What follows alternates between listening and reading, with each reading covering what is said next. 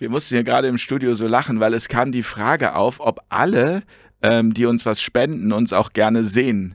Aber wir wollten natürlich genau umgekehrt fragen, also ob alle, die uns gerne sehen, uns auch was spenden. So ist die Frage nämlich richtig. Und das ist eine Frage, die ich jetzt an euch stelle.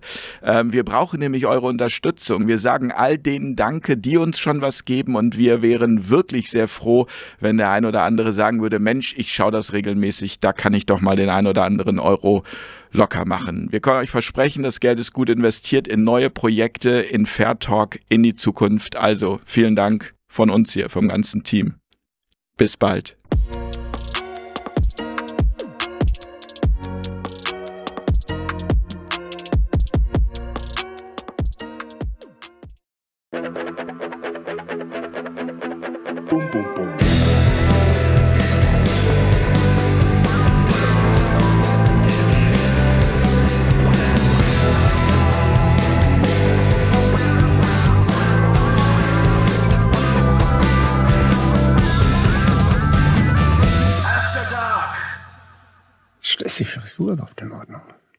Frisur sitzt, Hermann. Ich freue mich, dass du da bist. Herzlich willkommen in Hamburg, von Marburg nach Hamburg. Und neulich war ja Peter Hane da, der hatte schon erzählt, sein Zug war pünktlich. Dein Zug heute war fast pünktlich. Also die Deutsche Bahn meint es gut mit Fairtalk. Ja, also das ist unglaublich. Also ich kann es gar nicht fassen. Also äh, ein, ein IC, diese schönen alten IC-Züge, ne? ich liebe sie. Die werden aber immer mehr ersetzt durch ICE, wo, wo du viel enger sitzt. Und äh, ja, das ist noch erstens mal kaum Fahrgäste und du sitzt, ich gehe immer ganz nach vorne, wo die Fahrräder sind, nicht weiter sagen. Sonst sind alle vorne. Ja, und äh, ja, das ist einfach, äh, dann kann ich mich da schön ausstrecken und dann war der Zug von, von Marburg bis Hamburg-Dammtor. In einem Rutsch brauchte ich gar nichts machen. Und du, du, du bist ja mit dem Norden auch eng verbunden. Die ersten 20 Jahre mhm. ähm, warst du ja auch Burg, Flensburg. Guck mal, Flensburg, Flensburg Hamburg, ne? Marburg. Ja, also Mar ist immer eine immer Burg die dabei. Burgen, ja, ja, die Burgen. Obwohl ich gar, also die Flensburg habe ich eigentlich nie gesehen. Die gibt's auch schon lange nicht mehr. Es gibt eine Duburg, aber eine Flensburg ist, glaube ich, schon in mythischen Zeiten versunken. Ja, Du bist äh, Politologe ja das ist richtig. und Publizist. Also ich habe Germanistik und, und Politikwissenschaft in Marburg, in der linken Kaderschmiede Marburg gelernt, ja. Und ähm, du kommst aus der Batteriestraße. Genau. Batteriestraße 51 in In Flensburg. Flensburg. Das Haus gibt's auch nicht mehr. Alle Häuser, in denen ich früher gewohnt habe, sind längst abgerissen. Worauf deutet das hin, Hermann? Das weiß ich nicht. Irgendein Zerstörungskarma, ja. Und äh, du hast aber gesagt, daraus wurde dann irgendwie die Bakterienstraße. Ja, also äh, man hat eben so auch seine Sprüche immer gehabt, immer schon, auch Sprachwitz und so weiter. Das gibt's ja heute auch nicht mehr so, aber früher hat man alles verballhornt. Ne? Und hat mein großer Bruder eben gesagt, ja, Bakterienstraße, ne, immer. Und ja, das war mitten eingebunden so im Industriegebiet. Da war eine Werft, Flensburger Schiffbaugesellschaft, dann war da Kraftwerk, Gaswerk. Unser Garten wurde direkt äh, beendet von ein, von zwei großen Gasmeilern. Und äh, das wäre heute gar nicht mehr möglich, sowas. Ne? Also äh, und äh, ja, da haben wir richtig schöne grüne, grüne Lunge da drin, zwei, 2000 Quadratmeter bestimmt, Gartenfläche. Und mein Vater hat einen grünen Finger, wir haben alles immer gehabt, also wunderbar. Und äh, Ostseebad war nicht weit weg. Aber dieser Industrielärm und so weiter und der Dreck, das war schon heftig. Also dann war oben äh, Arbeitersiedlung, Werftarbeitersiedlung. Also erstmal war ich auf der Volksschule vier Jahre. Es wurde früher noch ehrlicherweise Volksschule genannt. Ne? Ähm, ja, da war ich mit lauter rauen Arbeiterkindern dann äh, zusammen als so ja, ein bisschen verzärtelter äh, Werksdirektorensohn, weil mein Vater war ja Leiter der Gas- und Wasserwerke, Beamter. Und äh, ja, dann natürlich immer auf den in den Pausenhöfen dann mit dem mit dem mit den Schülern, die sich da kloppten, äh, hau im Dot, hau im Dot. Rau, aber nicht herzig. Und dann bin ich auf das alte Gymnasium gekommen. Das äh, die erste, das erste Gymnasium sozusagen. Und dann noch humanistischen Zweig, Altgriechisch. Ne? Und, und, ich und wollte das, muss dir vorstellen. Die haben alle gesagt, bist du bescheuert?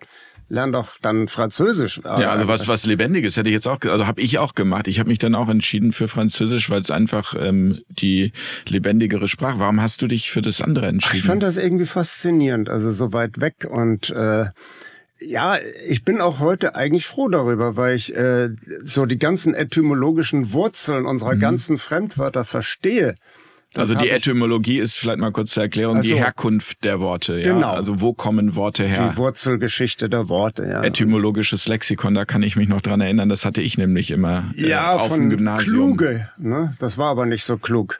Ja, das, das, das, Buch war nicht so klug, oder? Nee, das war völlig oder? bescheuert. Also äh, da stand für Aussie dann irgendwie, kommt von, von Aussie, ne? von Australien. Und von daher wäre unser Wort Ossi abgeleitet. Das ist natürlich völliger Quatsch. Also, war, war das vielleicht auch so zugeknallt? War das vielleicht auch so ein bisschen so, ähm, um, um gegen den Strom zu äh, schwimmen? Also nicht das ja, zu machen, das was die meisten anderen machen? Das stimmt. Also äh, Klein Hermi war immer irgendwie so ein bisschen speziell drolliger Knopf und hat sich auch ein bisschen abgesondert und, und ja, geh doch mal raus, zieh dir kurze Hosen an, spiel mit den anderen Kindern. Ach nee, andere Kinder sind doof. Nee, und irgendwie dann eher Karl May gelesen oder was weiß ich und äh, ja, hm, hab mir dann immer natürlich immer den Wunsch gehabt, was anderes zu machen wie die anderen, ja das gegen den Strom schwimmen ist ja bis heute geblieben, kann das man ist sagen. so geblieben. Also äh, ich bin da auch wieder reingerutscht, dann aus Versehen sozusagen. Mhm. Ein Freund hat mich da reingezerrt in die APO, in die 68er-Bewegung. Das war ja aufregend gab es ein sozialistisches Zentrum. Die hatten irgendeine Wohnung im Stadtzentrum gemietet und dann da so eine Kommune aufgemacht und äh, da wurde ich dann reingezerrt und äh, ich hatte alles natürlich gar nicht verstanden, ne? was da überhaupt abgeht. Da war ich 13 oder 14. Ne? Ich muss kurz mal unterbrechen. Ja, Spock, Halli, herzlich hallo. willkommen erstmal. Hallo, guten ähm, Abend. Weil wir das Wort in letzter Zeit oft hören, APO, aber es gibt kaum noch jemand, der das kennt, der nicht in unserem Alter ist. Ja. Kannst du das erklären? Natürlich kann ich das erklären. Äh, außerparlamentarische Opposition. Opposition. Hm. Also es, es war so, da, da war eine neue Generation herangewachsen, so 20, 30-Jährige, die ja nicht mehr aus der Not des Krieges herausgekommen waren. Ne? Die, die waren nicht äh, damit beschäftigt sozusagen oder damit zufrieden, einfach wieder ein Haus zu haben und eine Wohnung und, und ein neues Auto und so weiter, sondern äh, ja, unsere Generation damals war eben dann schon so ein bisschen, ja, wie soll man sagen, da, da hat man dann gesagt, nee, also wir wir äh, arbeiten um zu leben und die anderen leben um zu arbeiten. Das war ja auch so eine Definition in der Pariser Revolte. Ne? Und äh, ich habe da, aber da, ich bin da einfach erstmal so reingepoltert, habe nichts verstanden, alles so schön bunt hier, kann mich gar nicht entscheiden. Ne? Es war irgendwie äh, aufregend und exotisch und hatten alle so bunte Klamotten an und, und äh, haben sich alle so exaltiert aufgeführt und so. Ne? Und naja, aber ich, das, das Nachbereiten, was eigentlich da los war, worum es eigentlich ging, das hat dann Jahrzehnte gedauert und ist eigentlich bis heute nicht äh, abgeschlossen sozusagen. Ne? Also da, wo jetzt äh, Herbert Marcuse damals äh, ein Philosoph, der aus Deutschland weg war, deutsch-jüdischer Philosoph, der dann in Berkeley in, in, in äh, Kalifornien gelehrt hatte und äh, der eigentlich sehr intelligent damals schon die ganzen Grundzüge, das was heute so aufgearbeitet wird, schon äh, formuliert hatte in seinem Buch Der eindimensionale Mensch. Ne? Und äh, was ist damit gemeint, eindimensionaler Mensch? Also ein Mensch, der nicht mehr bereit ist äh, oder nicht mehr in der Lage ist, über seine jetzige Existenzform hinauszudenken, nicht zu transzendieren, nicht drüber zu gehen, äh, in andere Möglichkeiten, andere Optionen. Also, also Alternativlosigkeit. Also, genau, Alternativlosigkeit könnte man sagen. Äh, er sagt, die Leute, äh, wir sind heutzutage in der Lage, äh, es würde völlig ausreichen, wenn jeder Mensch äh, vier Stunden am Tag arbeiten würde und das ungefähr drei Tage in der Woche und wir würden alles äh, schaffen, was wir brauchen. Dennoch wird immer mehr sozusagen die, die, die Peitsche geschwungen und immer noch mehr aus den Leuten rausgeholt und diese, diese Irrationalität, ne, dieses Verrückte daran. Ne? Wobei das ja voraussetzt, dass also Arbeit kann ja auch Spaß machen. Also ich mache meine Arbeit zum Beispiel gerne und also ich wäre ärgerlich, wenn mir jemand sagen würde, nur vier Stunden. Nein, nein, also äh, das geht natürlich jetzt nur um entfremdete Arbeit. Also mhm. wenn wenn jetzt Heinz Herbert Willi jetzt schachtet mal da hinten also da was aus, damit die Telefonkabel da äh, gelegt werden können. Ne? Aber äh, das ist eine fremdete Arbeit. Da, da, du machst eine Arbeit, wo, wo du nicht selber jetzt irgendwie den Willen hast, das zu machen und äh, machst das für andere einfach nur, um zu überleben, um mhm. nicht zu verhungern. Bei mir ist es auch anders. Aber es hat lange gedauert, bis ich endlich die Arbeit hatte, die mich wirklich glücklich macht. Wie lange hat das denn gedauert? Jahrzehnte. Also äh, du hast zwei Jahrzehnte äh, da oben bei Flensburg gelebt und dann bist du bist du dann direkt nach Marburg gegangen? Ich bin nach Marburg gegangen, mhm. habe da studiert, aber äh, auch weil nicht genug Geld da war, auch viel äh, gearbeitet in Fabriken, Baustellen. Äh, und, und ich finde das auch alles äh, absolut in Ordnung, dass ich das äh, gelernt habe, alle Schichten zu achten und zu sehen, dass dort bei, bei diesen Leuten, die da, die, ja, die entfremdete Arbeit machen, dass da so viele Talente sind, so mhm. viele äh, Hochbegabte und auch, du merkst, sie können es natürlich nicht anders artikulieren als durch einen hintergründigen Humor. Aber was du da manchmal hörst, da legst dich auf den Boden. Ne? Das ist so scharfsinnig. Du siehst, die haben das total durchschaut und bringen das auf den Punkt. Und ich bin also äh, wirklich äh, stolz darauf, äh, diese äh, Szene auch kennengelernt zu haben oder äh, äh, hier äh, Ofengießerei, Buderos, also alle Völkerschaften, äh, Türken, Italiener, Portugiesen, alles äh, arbeitete da zusammen und äh, ja, war toll irgendwie, ne? Ja, das ist eine, also ich, das kann man auch jedem jungen Menschen ja nur wünschen, ähm, das kennenzulernen. Also ich habe das auch gemacht. Ich habe auch in Fabriken gearbeitet. Ich habe teilweise in ähm, Hosenlagern gearbeitet. Da musste ich dann so Kommissionen zusammenstellen und habe dann einen ganzen Tag anhand von solchen Listen drei, vierhundert Einzelhosen rausgesucht. Die wurden dann als Kommission verschickt und ich habe mich dann immer gefragt, meine Güte nochmal, wenn ich das jetzt 30 Jahre oder 40 Jahre machen müsste, da, da muss man ja wirklich auch einen großen Respekt davor haben, das ist eine dass Galerie, jemand ja. diese, wie du sagst, ich habe es mir aufgeschrieben, entfremdete Arbeit ähm, zu machen. Wobei ja auch da wieder die Frage, ich hatte gar nicht so sehr immer den Eindruck, dass die unglücklich damit sind. Nein, nein. Also äh, viele Leute finden das in Ordnung, sind damit durchaus zufrieden und man soll da auch jetzt nicht hingehen und sagen, hier, ach, du musst jetzt da unzufrieden sein. Äh, das kommt immer ganz auf die Einzelperson an und äh, klar, auch, siehst du, siehst du auch, dass Leute als Kellner oder als, als äh, Bäckerverkäufer wirklich manchmal total gut drauf sind und äh, das ist dann in Ordnung. Und äh, ich sag mal, nur wenn man es muss, ja, wenn, wenn man es einfach muss, weil man jetzt äh, geheiratet hat und hat Kinder und so weiter und kann sich das jetzt auch gar nicht mehr aussuchen. Also ich, das war ja so grässlich in der ja, Corona-Zeit. Entschuldigung, wenn ich da, wenn ich da immer lache, man hat sich ja ausgesucht zu heiraten, Kinder zu kriegen. Nee, ich meine also jetzt nicht ja, aussuchen die Arbeit. Ne? Nein, nein, schon klar, aber der, der Druck, der aufgebaut wurde. Ja, ja, also ja. Nie, niemand hat dich ja am Ende dazu gezwungen zu heiraten und ein äh, Haus zu bauen. Also könnte man jetzt auch von der Seite aus sehen. Es kommt immer drauf an, ob das immer so freiwillig ist. Aber das ist ja individuell unterschiedlich. Aber auf jeden Fall, äh, diese Alternativlosigkeit, dann irgendwie unbedingt Geld verdienen zu müssen und auch nicht aufzumucken in der Firma.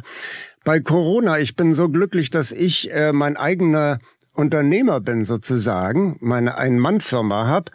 Äh, da war Dein keine, Verlag, ne? Genau, mein, mhm. mein Verlag, wo ich meine eigenen Bücher äh, herausbringe und damit auch diese ganze, diesen ganzen Terz mit dem le bescheuerten Lektorat da mehr einspare und trotzdem Erfolg habe. Offenkundig braucht man diese Leute nicht unbedingt, aber egal. Jedenfalls in der Zeit Corona, ich war so glücklich, weil äh, da, da war nichts mit irgendwelchen Druck, irgendwelchen Hackordnungen, irgendwelchen Gereiztheiten. Das muss ja furchtbar gewesen sein. Also mein, mein Mitgefühl gehört wirklich den Leuten, die in so einer Galeere dran, dann drinstecken und diesen Kollektivwahnsinn dann noch über sich ergehen lassen müssen. Ich möchte gerne nochmal ähm, auf einen Punkt kurz kommen. Das meintest du eben, ähm, dieses, also du bist, ab welchem Punkt hast du dich gefunden? Also da waren wir jetzt so ein bisschen von ab. Ja, ja, genau. Äh, ne, also äh, also wo, ab, ab welchem Punkt wusstest du? Wusstest du es ab dem Punkt Studium? Nein, also später erst, oder? Ja, ja, wie, also wie das Studium habe ich dann relativ spät erst abgeschlossen, nachdem ich eben viel Zeit auch so äh, an der Seite der Arbeiterklasse zugebracht habe. Äh, das ist äh, aber, aber habe ich gut abgeschlossen und, und äh, ja, dann bin ich ins journalistische Fach gegangen. Also das ergab sich einfach so. Ich, ich hatte Dann auch mal so eine exzessive Fotografierphase. Das war damals noch schwarz-weiß, habe ich Fotos selber entwickelt und so weiter. Aufregendes Erlebnis. Und, Noch so in einer äh, Dunkelkammer mit den Chemikalien ja, darum hantiert und. Ja, äh, ist aufregend, wenn das da so rauskommt und dann guckst du, aha, nee, ist noch zu schlapp, nimmst du Gradation 6, dann haut's hin.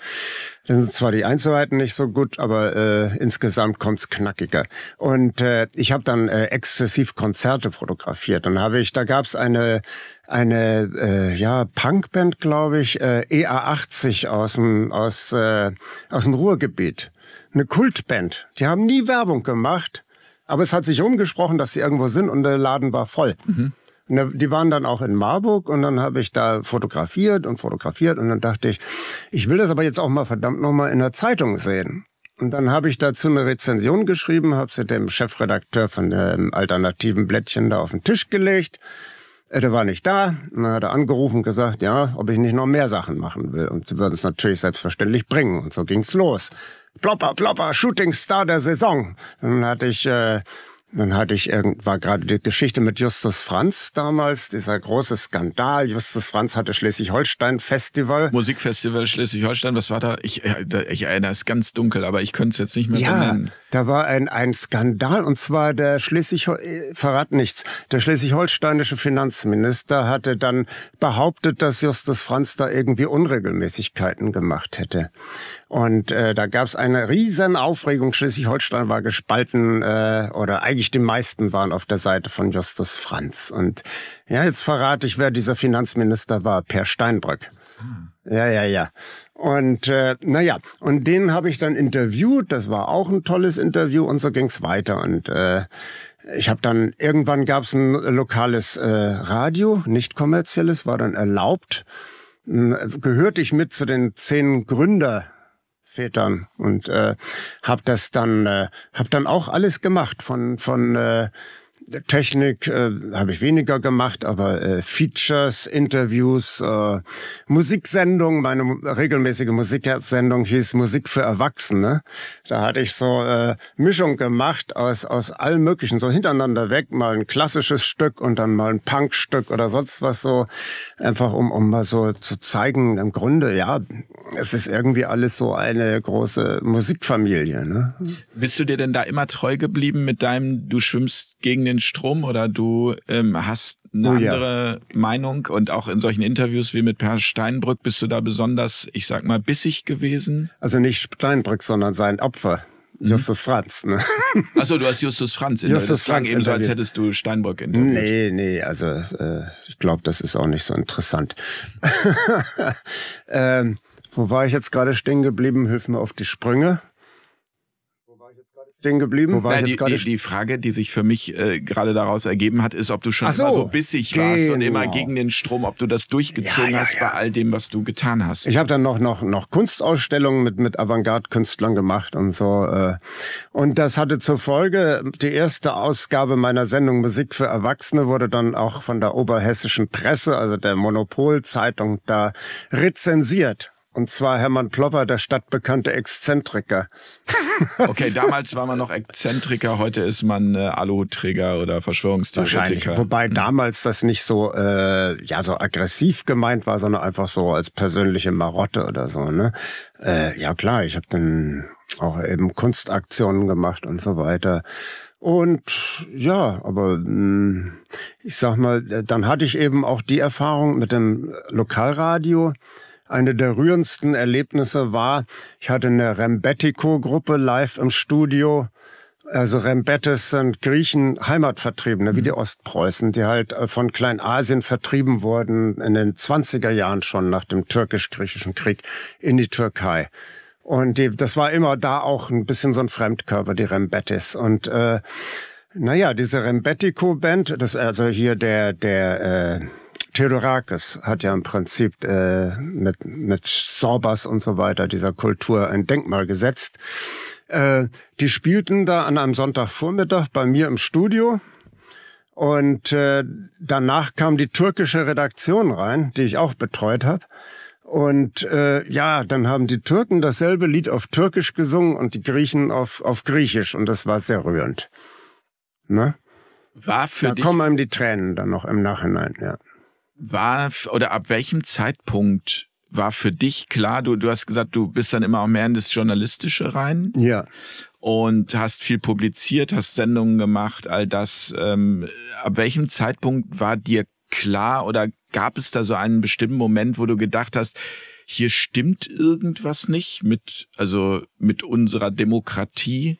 Also äh, mit unserer äh, Freiheit. Also ich will so ein bisschen die Brücke bauen zu deinem Buch, die Macher hinter ja, den ja. Ähm, Kulissen. Also wo setzte das ein, dass du dann ja ähm, eben eine ja sehr sehr konsequente und deutliche Elitenkritik auch angefangen hast und das System sehr stark hinterfragt hast. Ja, also das habe ich ja nur die ganze Zeit seit 68 bin ich mir eigentlich immer treu geblieben, bin auch immer mal politisch aktiv gewesen. Ich war auch mal Karteileiche bei den Grünen von 83 bis 87, als sie noch progressiv waren und äh, dann wieder nicht. Also immer so Phasen, wo ich eher unpolitisch war und dann Phasen, wo ich wieder politisch war, aber eigentlich immer so äh, ja aus einer oppositionellen oppositionellen äh, Richtung mhm. heraus. Ne?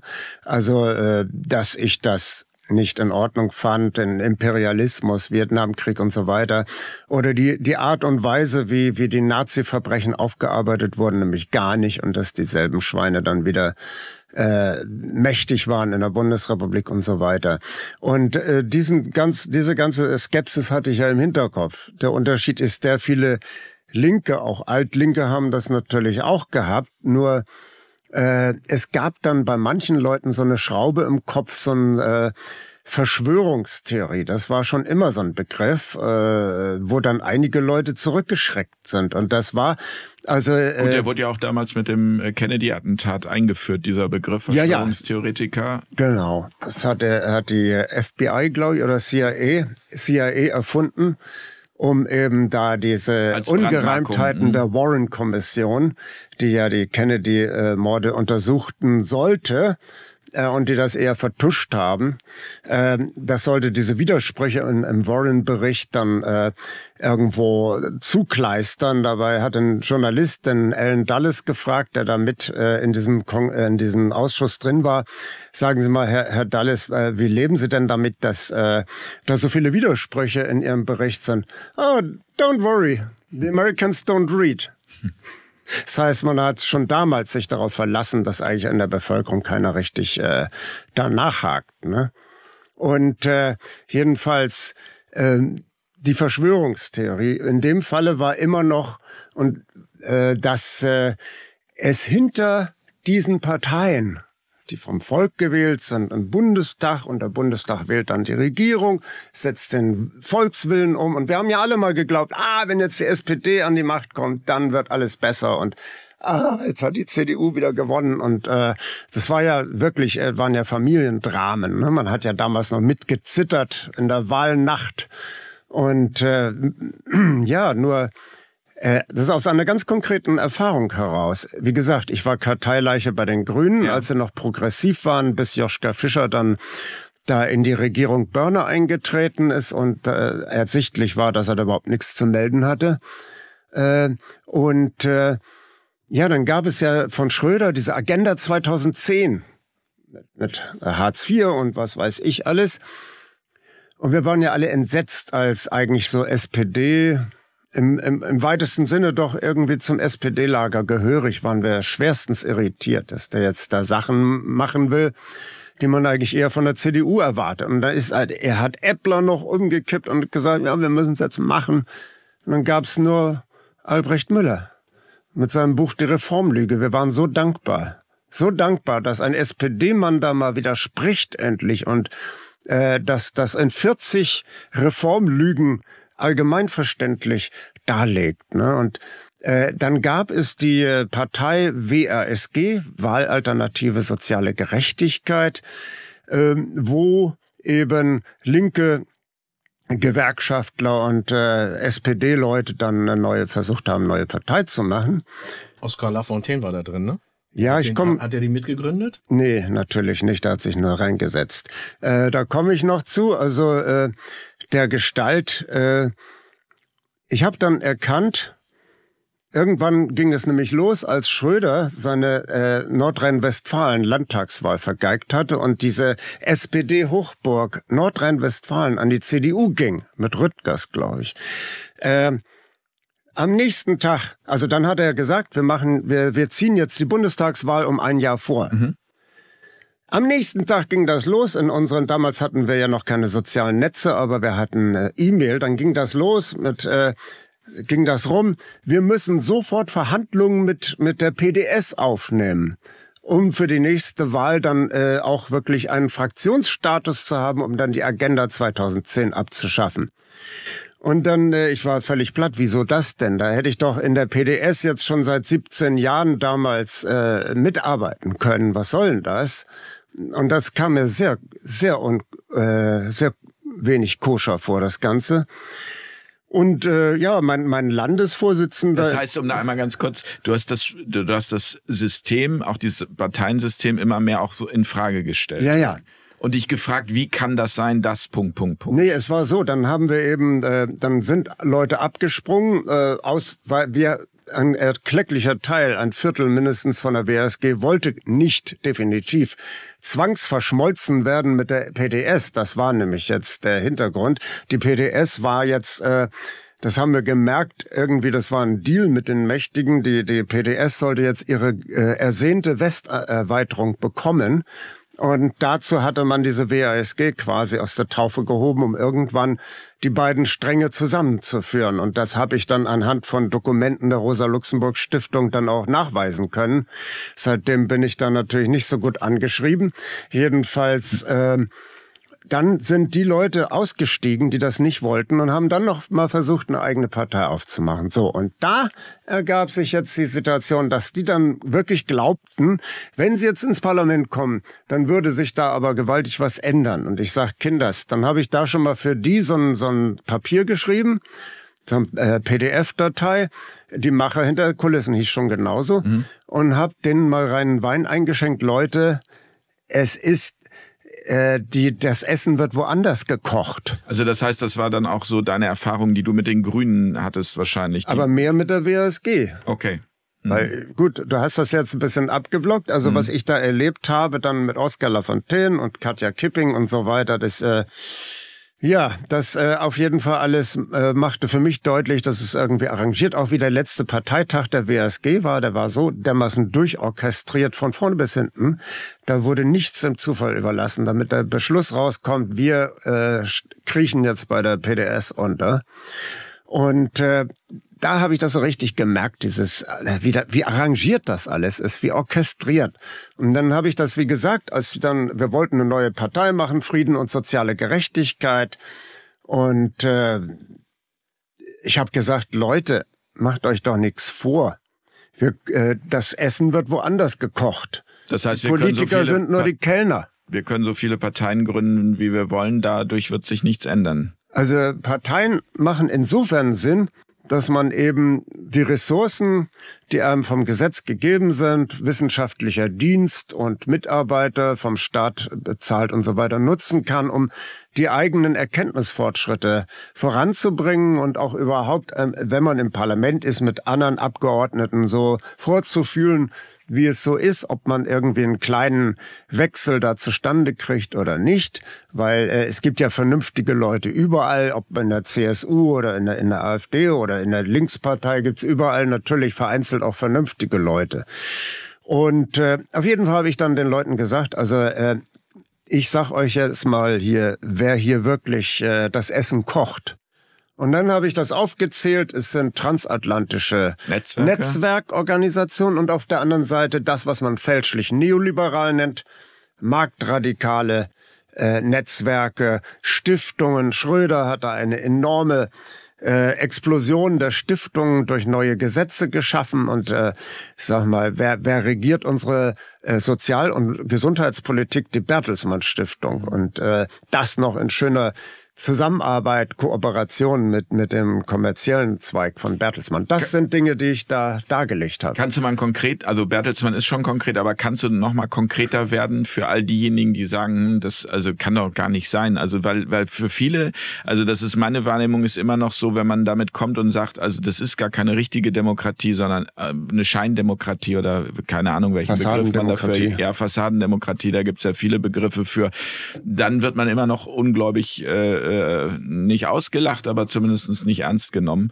Und vielleicht kannst du nochmal konkret darlegen, wo und wie so eine Einflussnahme über so eine Stiftung in die Politik erfolgt. Äh, ganz konkret, die, äh, die Agenda 2010 von Schröder und Fischer ist eins zu eins aus einem Papier der Bertelsmann Stiftung übernommen.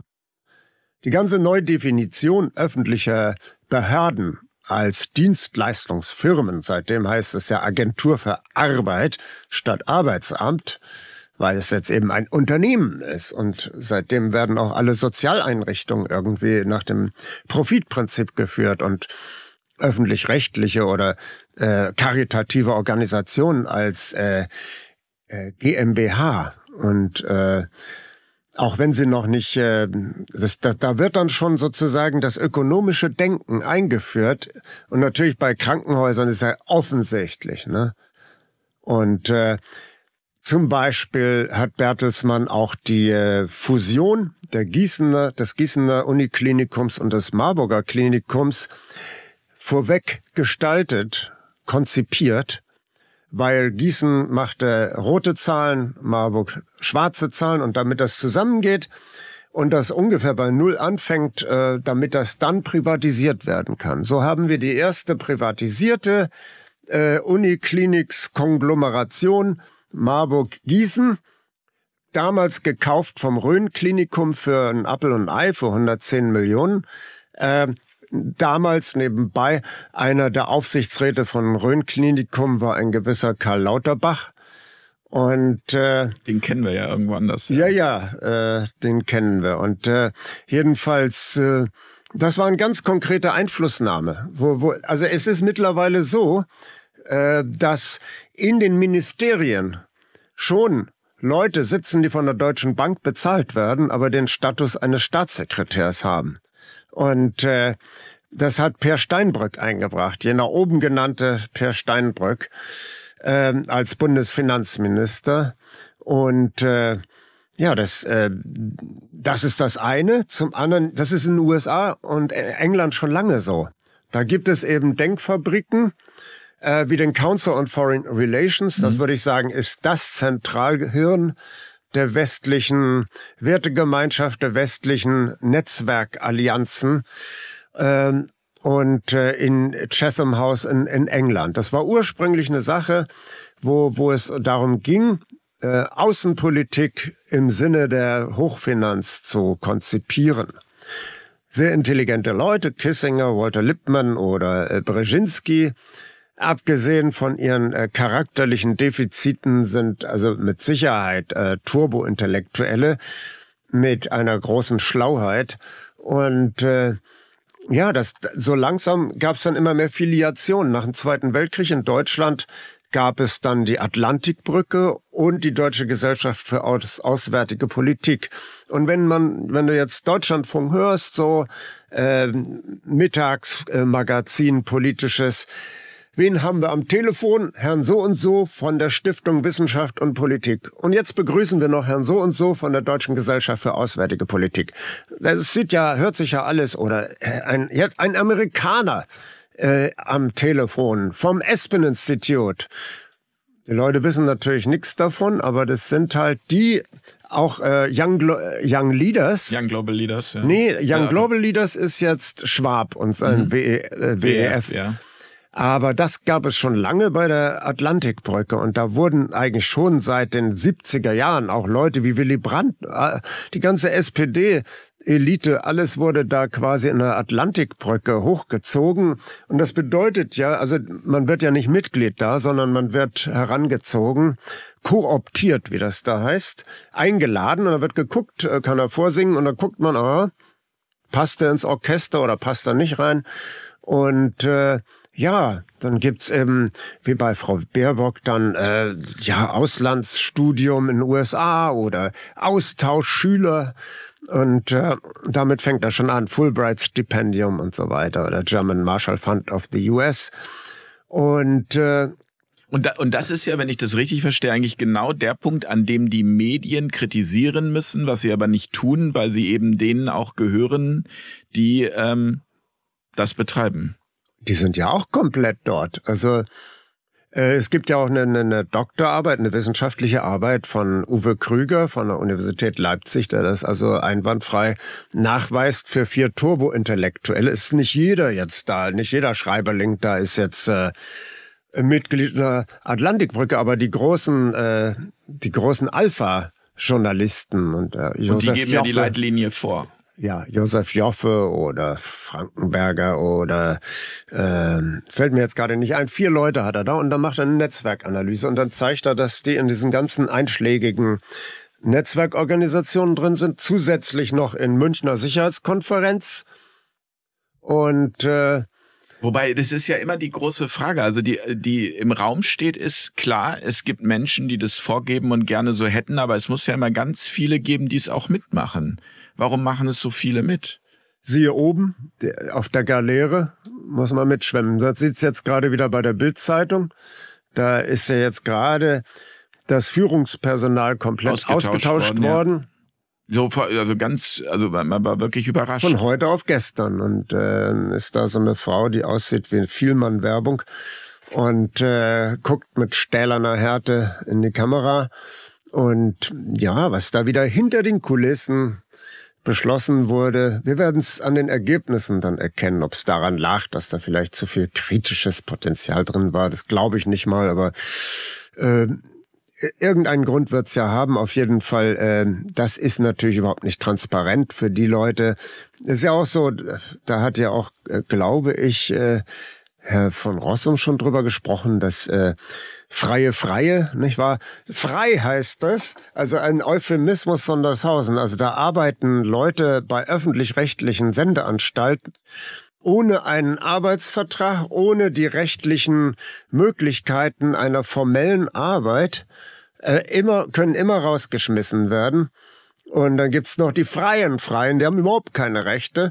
Und dann, das, damit setzt sich das zusammen und du hast natürlich, äh, wenn du dann davon leben willst, dann musst du dann natürlich dich total nach der Decke strecken. Ja, ja gut, aber das, das, aber es ist immer wieder auch ein Stück weit die Moral des Einzelnen, also mitzugehen oder eben nicht mitzugehen. Ich meine, du bist ja auch nicht mitgegangen. Du hättest ja wahrscheinlich auch sagen können, ich gehe so einen ganz klassischen Weg und mache irgendwie, keine Ahnung, äh, ich, also du hast dein Radio und dann in zum öffentlich-rechtlichen zum Beispiel. Ja, genau. Und du, du bist typisch. ja auch, du bist ja auch irgendwie äh, beim gegen dem Strom schwimmen geblieben ja. und hast nicht den bequemsten Weg genommen. Darauf wollte ich hinaus. Also warum, also es ist immer auch die Entscheidung desjenigen mitzumachen. Also ich sag mal so, das ist auch ein bisschen zeitbedingt. Als, als ich damit anfing, gab es auch keine andere Alternative, gab es nur äh, Mainstream.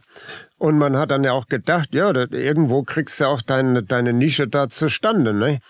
Ähm, aber mittlerweile gibt es, hat ja dieses System, das wurde immer rigider, immer intoleranter und hat immer mehr Leute ausgespuckt. Und die haben sich dann ja zum Teil, wie, wie Ken Jebsen, dann selbstständig gemacht. Und äh, siehe da, mit dem äh, Aufstieg der ganzen sozialen Medien und YouTube, den ganzen Möglichkeiten. Jeder kann sich ja jetzt zu Hause hinsetzen, kann selber eine Fernsehsendung machen. Ja, Bürgerjournalismus. Ja. Das heißt, äh, das war ja früher gar nicht möglich mhm. und dass man auch davon äh, eventuell leben kann, wenn man es gut genug macht. Also das ist äh, das gab's ja gar nicht, die Option früher. Ne? Also aber, aber die Option, darauf will ich hinaus, ist nur entstanden, weil es eben Menschen gab, die gesagt haben, ich gründe jetzt ein eigenes Portal und ähm, ja, lass mich da auch erstmal irgendwie in einem heftigen Gegenwind bespucken und beschimpfen. Das und muss aber auch funktionieren. Also ähm, das war früher noch nicht so einfach. Ne? Also gab noch nicht so viele Leute, die YouTube geguckt haben und äh, also der Markt hat sich ja äh, drastisch vergrößert. Dann noch mit den Handys, mit den Smartphones wo, wo die Leute dann noch im Auto äh, einen Podcast hören, also eine aufgezeichnete Tonaufnahme. Aber, äh, aber nochmal, Hermann, worauf ich hinaus möchte, wo entsteht im Menschen diese Entscheidung, diese moralische Entscheidung zu sagen, ich mache da nicht mit? Uiuiui, das ist ja natürlich äh, mehr oder minder Zufallslotterie. Das kann sein aus irgendeiner Sozialisation. Bei mir könnte es zum Beispiel vielleicht an so einem gewissen lutheranischen Moralismus, den wir zu Hause gepflegt haben, sich speisen. Also äh, üb immer Treu und Redlichkeit und äh, ehrlich wert am längsten und so weiter. Und wenn du dann merkst, hm. das ist in der, in der Wirklichkeit, schon gar in der Erwerbswirklichkeit so gar nicht durchführbar, dann äh, entsteht natürlich schon mal so ein Kontrasterlebnis und dann äh, denkt man sich ja, wie kann man das dann eben durchziehen? Und ich habe es wirklich vorgezogen, dann lieber äh, arm zu bleiben, eine ganze Zeit lang arm zu bleiben, aber mir irgendwie in, in Spiegel gucken zu können, denn ich sag mal auch für dieses äh, nicht kommerzielle Lokalradio oder für, für, für die Beiträge für die Stadtzeitung gab es ja nichts, was, wovon man hätte leben können jetzt. Ne? Also man musste immer noch gucken. Zeitlang war, habe ich immer noch noch äh, stundenweise Umzüge gemacht und alles Mögliche. Also, aber ich ich habe jetzt wirklich nicht dann gesagt, also ich kriech da jetzt unter irgendwo und, und sag irgendwas, was ich gar nicht glaube oder wo ich mich für schämen müsste. Ja. Äh, die Bedingungen sind besser geworden. Heute kann ich ganz gut damit leben, ja. Oder davon leben. Ne? Ja gut, und das ist auch gut so. Also das soll auch so sein, weil das äh, wäre ja, oder das ist ja auch die Voraussetzung, dass immer mehr Menschen sagen können, wir machen da nicht mit, weil irgendwovon musst du ja leben. Ja, Jeder von uns muss davon leben. Alles, das sage ich ja auch immer wieder in die Community. Also alles, das Studio äh, muss bezahlt werden, äh, die Technik, äh, die Mitarbeiter, die hier sitzen, ich. Äh, also es, es geht Gast. nicht ohne weil der Gast. Aber der Gast kriegt ja nichts. Ja, ja. Äh, naja, Reisekosten, Hotel, also weißt du, ja. da kommt ja eins zum anderen anderen und das muss ja irgendwo ja, herkommen. Ja, ja, das muss irgendwo herkommen und äh, ja, das äh, ich denke, es hat die Rahmenbedingungen haben sich drastisch verbessert für uns Freiflieger. Ja, es geht Fall. Äh, man, äh, drastisch verbessert. Verbessert auf der einen Seite und auf der anderen Seite braucht man halt eine gewisse Stabilität, um mit diesem Gegenwind auch umgehen zu können. Ja, in dem Moment, wo, wo es Restriktionen gibt, wie, wie bei einigen Freunden, die da eben auch jetzt geostrategisch im Moment ein bisschen verquer arbeiten, wo dann das Konto regelmäßig gesperrt wird und so etwas. Das ist nicht lustig, ja. Oder wenn die dann sogar auf eine ukrainische Tötungsliste kommen oder sonst was. Also äh, ja, aber insgesamt muss ich einfach sagen, es gibt ja viel mehr Leute und es, was ich auch sehr erfreulich finde, es gibt sehr viele junge Leute und auch Jungs aus der, Jungs und Mädels aus der äh, ja, Migrant, Migrantenszene, also äh, Türken der zweiten Generation, Russen, äh, was es alles so gibt, Griechen und so, äh, die, die interessante Sendungen machen, die, die als Rapper angefangen haben und jetzt also echt saugute Sendungen machen und, und sehr, sehr bewusst und sehr, und die haben ganz andere Umsätze noch als wir. Also es ist, ist der Hammer. Da, da, da, da gibt's eine junge Frau,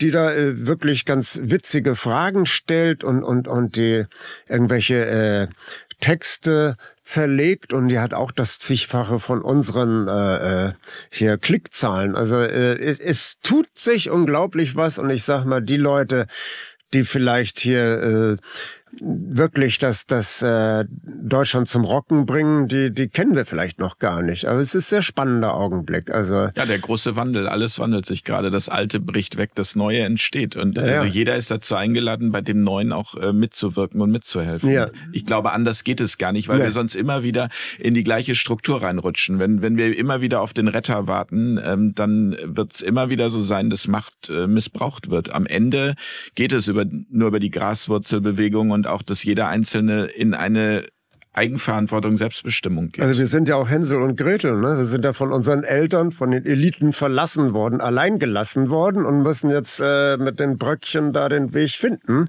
Äh, das ist ja auch unsere große Chance. Die Eliten sind so weit abgehoben und weg von uns.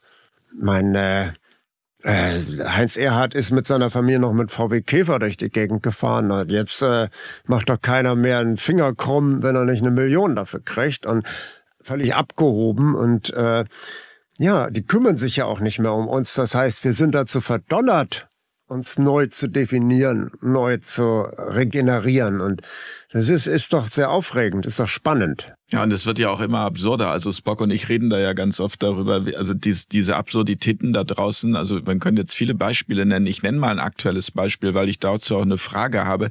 Da haben Spock und ich uns auch im Vorwege der Sendung drüber unterhalten. Nord Stream 2. Ja, also da ist dann plötzlich ein Seymour Hirsch, der sagt, also das ist von den Amerikanern möglicherweise gesprengt worden. Alle sind empört und sagen, ähm, um Gottes Willen, ähm, dass, also gerade eine Szene gesehen, es war ein Video, was äh, viral ging im Bundestag, da hat jemand gesagt, ein Politiker, ich glaube war von der CSU, der gesagt hat, er ist an der Aufklärung nicht interessiert. Ja, und dann fragte jemand nach, ähm, meinen Sie das ernst? Und ja, ich bin an der Aufklärung nicht interessiert. Und dann denke ich so wie, also ja, und dann, dann genau, im ersten Moment, hä, das gibt's doch jetzt nicht. Also das, das kann doch nicht sein, weil ich meine, welche Konsequenzen das gerade hat, das sehen wir ja alle an äh, unseren äh, Gasrechnungen und Stromrechnungen und so weiter und so fort. Das heißt, das hat ja eine Auswirkung auf jeden Einzelnen und ich bin davon überzeugt, würde man jetzt hier durch die Fußgängerzone in Hamburg-Mönckebergstraße laufen mit dem Mikrofon und fragen, sind Sie daran interessiert, wer es wirklich war, wäre ein großer Teil, der sagen würde, ja, möchten wir gerne wissen. So, ja, ist ja verstanden. So, und jetzt ist aber die Frage, und das ist die Frage, die ich im Vorhinein hatte und die möchte ich jetzt gerne einem Politologen stellen. Ähm, sagen wir mal, es wäre jetzt die Mainstream-Meinung, das waren die Amerikaner. Ja, jetzt mal ohne das äh, weiter zu bewerten ja. oder zu untersuchen. Ähm, das waren die Amerikaner. Was wäre denn dann die Konsequenz daraus? Naja, raus aus der NATO, NATO raus und natürlich irgendwie jetzt Strafverfolgung der, ja, der gegen Täter. Die, aber, ne? aber, aber und ich glaube, das ist genau der Grund. Das ist halt genau der Grund. Also damit will ich nicht rechtfertigen, würde nicht falsch verstehen, aber warum es so unterdrückt wird, weil es weil man sich das auch gar nicht vorstellen kann, etwas gegen diese übermächtigen Amerikaner zu machen. Ja, man hat ja gesehen, was die anstellen und wie sie uns hier natürlich trockenlegen könnten. Aber mit jedem Tag, äh, den diese Regierung darum wütet, wird unsere Situation verfahrener und auswegloser. Ne? Wir waren, also Frau Merkel war ja, wenn man im Rückblick guckt, gar nicht so schlecht. Die hat tatsächlich diese Seidenstraßenoption offen gehalten, genau mhm. wie die englische Premierministerin Theresa May. Die haben beide in die Bank for, for uh, Inf oder Asiatic Infrastructure ähm, naja gut, also die AIIB, eine, eine äh, Bank, so gegen, chinesisches Gegenstück zum IWF, äh, hat sie eingezahlt. Und äh, mit 1,2 Milliarden, um an diesem Zukunftsgeschäft teilzuhaben. Es gab dann eine Zeit, so 2016, 17, da sah es danach aus, als wenn Deutschland sich also da total gut reinfügen würde in diese neue Option. Und äh, ja, jetzt, jetzt haben wir das Gegenteil. Jetzt wird gegen China gestänkert und, und, und obwohl es unser wichtigster Wirtschaftspartner ist, äh, sollen wir uns da völlig von loslösen und, und dann wird da gezündelt in Taiwan und so weiter, auch von deutscher Seite her. Es ist ein glatter Selbstmord, was da gerade läuft. Ne? Und äh, ich sag mal, wir waren schon mal weiter. Und äh, das ist zum Beispiel auch Thema meines Buches Der Griff nach Eurasien. Mhm, dieses hier. Mhm. Genau. Äh, dass es schon etliche Versuche gab, unter Adenauer, unter Erhard, unter Kohl aus diesem Zangengriff der, der USA rauszukommen und sich offen zu machen für Bündnisse mit Frankreich, mit, mit Sowjetunion, mit Russland. Und äh, ich sag mal, das ist jetzt die erste Regierung, die sämtliche Kanäle gekappt haben. Alle vorher, bei aller noch so aggressiven kalte Kriegsrhetorik, äh, haben immer auch ihre Diplomaten gehabt, ihre Meisterdiplomaten. Äh, Adenauer hatte seinen Hans Kroll, der dann in, in äh, Moskau mit Khrushchev gut konnte und die haben sich dann immer informell getroffen, ausgetauscht und so weiter. Und so Adenauer hatte über den Kanal immer direkten Draht nach Moskau. Wir haben jetzt sowas nicht mehr. Der Scholz hat es noch am Anfang gemacht. Der hat noch immer bei, bei Putin angerufen Ich glaube, den haben sie jetzt so weit zusammengestaucht, dass er das auch nicht mehr macht. Aber äh, das ist gehört eigentlich dazu. Also äh, selbst wenn man nach außen noch so sehr mit den Säbeln rasselt, ist eigentlich immer klar gewesen, dass man einen informellen Kanal zu der anderen Seite immer aufrechterhält. Und das ist, glaube ich, das erste Mal, dass es gekappt ist. Was wäre denn, wenn es möglich wäre, wenn Deutschland zum Beispiel jetzt mit Russland ähm, enger zusammen und kooperieren würde? Was, also vielleicht mal für all diejenigen, die sich mit diesem Thema noch nicht beschäftigt haben, was äh, würde das denn für die Amerikaner bedeuten? Ja, das wäre natürlich für die Amerikaner sehr unangenehm, weil mit Deutschland dann ein äh, ernstzunehmender Mitbewerber auf dem Weltmarkt entstehen würde. Er, er war ja wir hatten ja von, von äh, Russland für ein Appel und ein Ei Gas und Öl bekommen. Und, und äh, das hat doch überhaupt nur den Wettbewerbsvorteil der deutschen Wirtschaft gebracht und, und dass, dass Deutschland im Exportweltmeister war lange Zeit. Ne? Und also äh, da kappen die, da sägen die sich mal eben die eigenen Beine ab. Also irre. Ne? Also, also das, das hat für die Amerikaner Konsequenzen gehabt. Die haben daraus äh, sozusagen wiederum Konsequenzen gezogen, denn sie jetzt da diese Schlagader gekappt haben. Ne? Wo führt uns das hin, deiner Analyse nach? Äh, was jetzt genau? Naja, dass wir also diese Verbindungen komplett gekappt haben und. Naja, das heißt, dass wir Brennstoff sind in dem äh, geplanten Krieg gegen Russland. Also ich habe das in, in der Griff nach Eurasien ja gezeigt, wie über 150 Jahre immer versucht wurde, Eurasien äh, die eurasische Festplatte zu erobern. Halford Mackinder, ein englischer Geostratege, hatte das schon thematisiert 1904.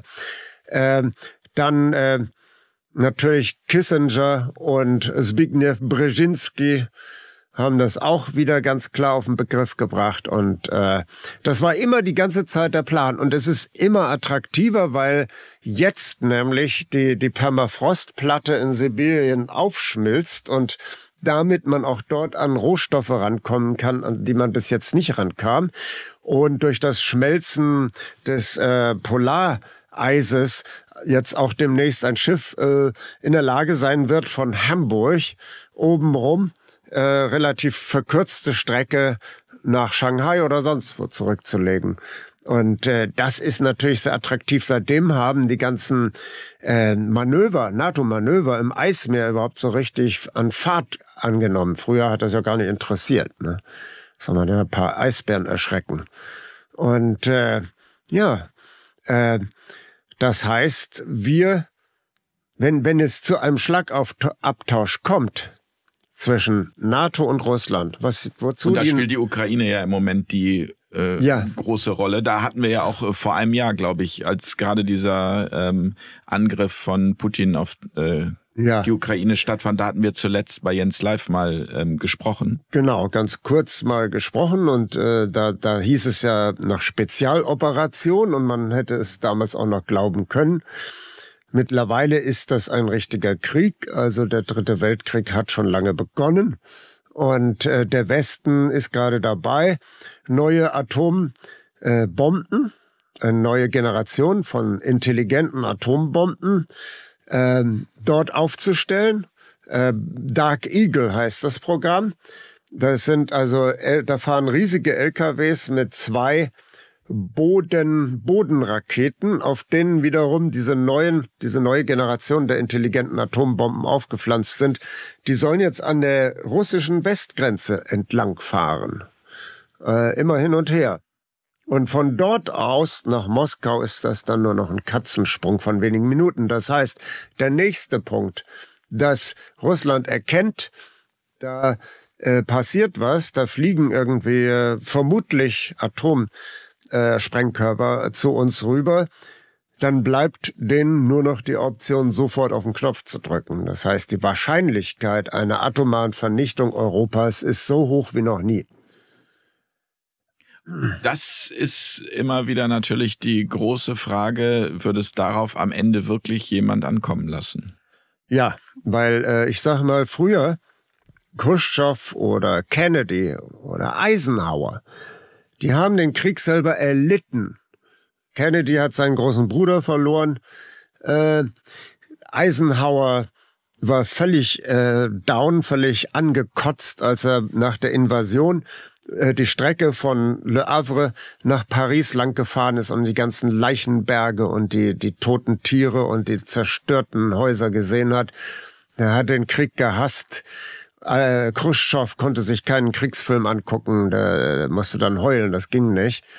Äh, heute haben wir hier, äh, sage ich mal, wohlstandsverwahrloste Eliten, die äh, gar keine, gar keine Beziehung dazu haben, eine sinnliche Anschauung, was das überhaupt bedeutet, so ein Krieg. Ne? Deswegen Grüne an die Ostfront ist, ist äh, erstmal ein knackiger Spruch, aber verdammt nochmal, wenn die da wirklich mal hingehen würden in die Ukraine, diese Leute hier, diese wohlstandsverwahrlosten Typen, und, und, und würden das vor Ort sehen, die, die, die wären danach ein Fall für die Psychiatrie. Also äh, ist doch so grässlich, so unvorstellbar grässlich.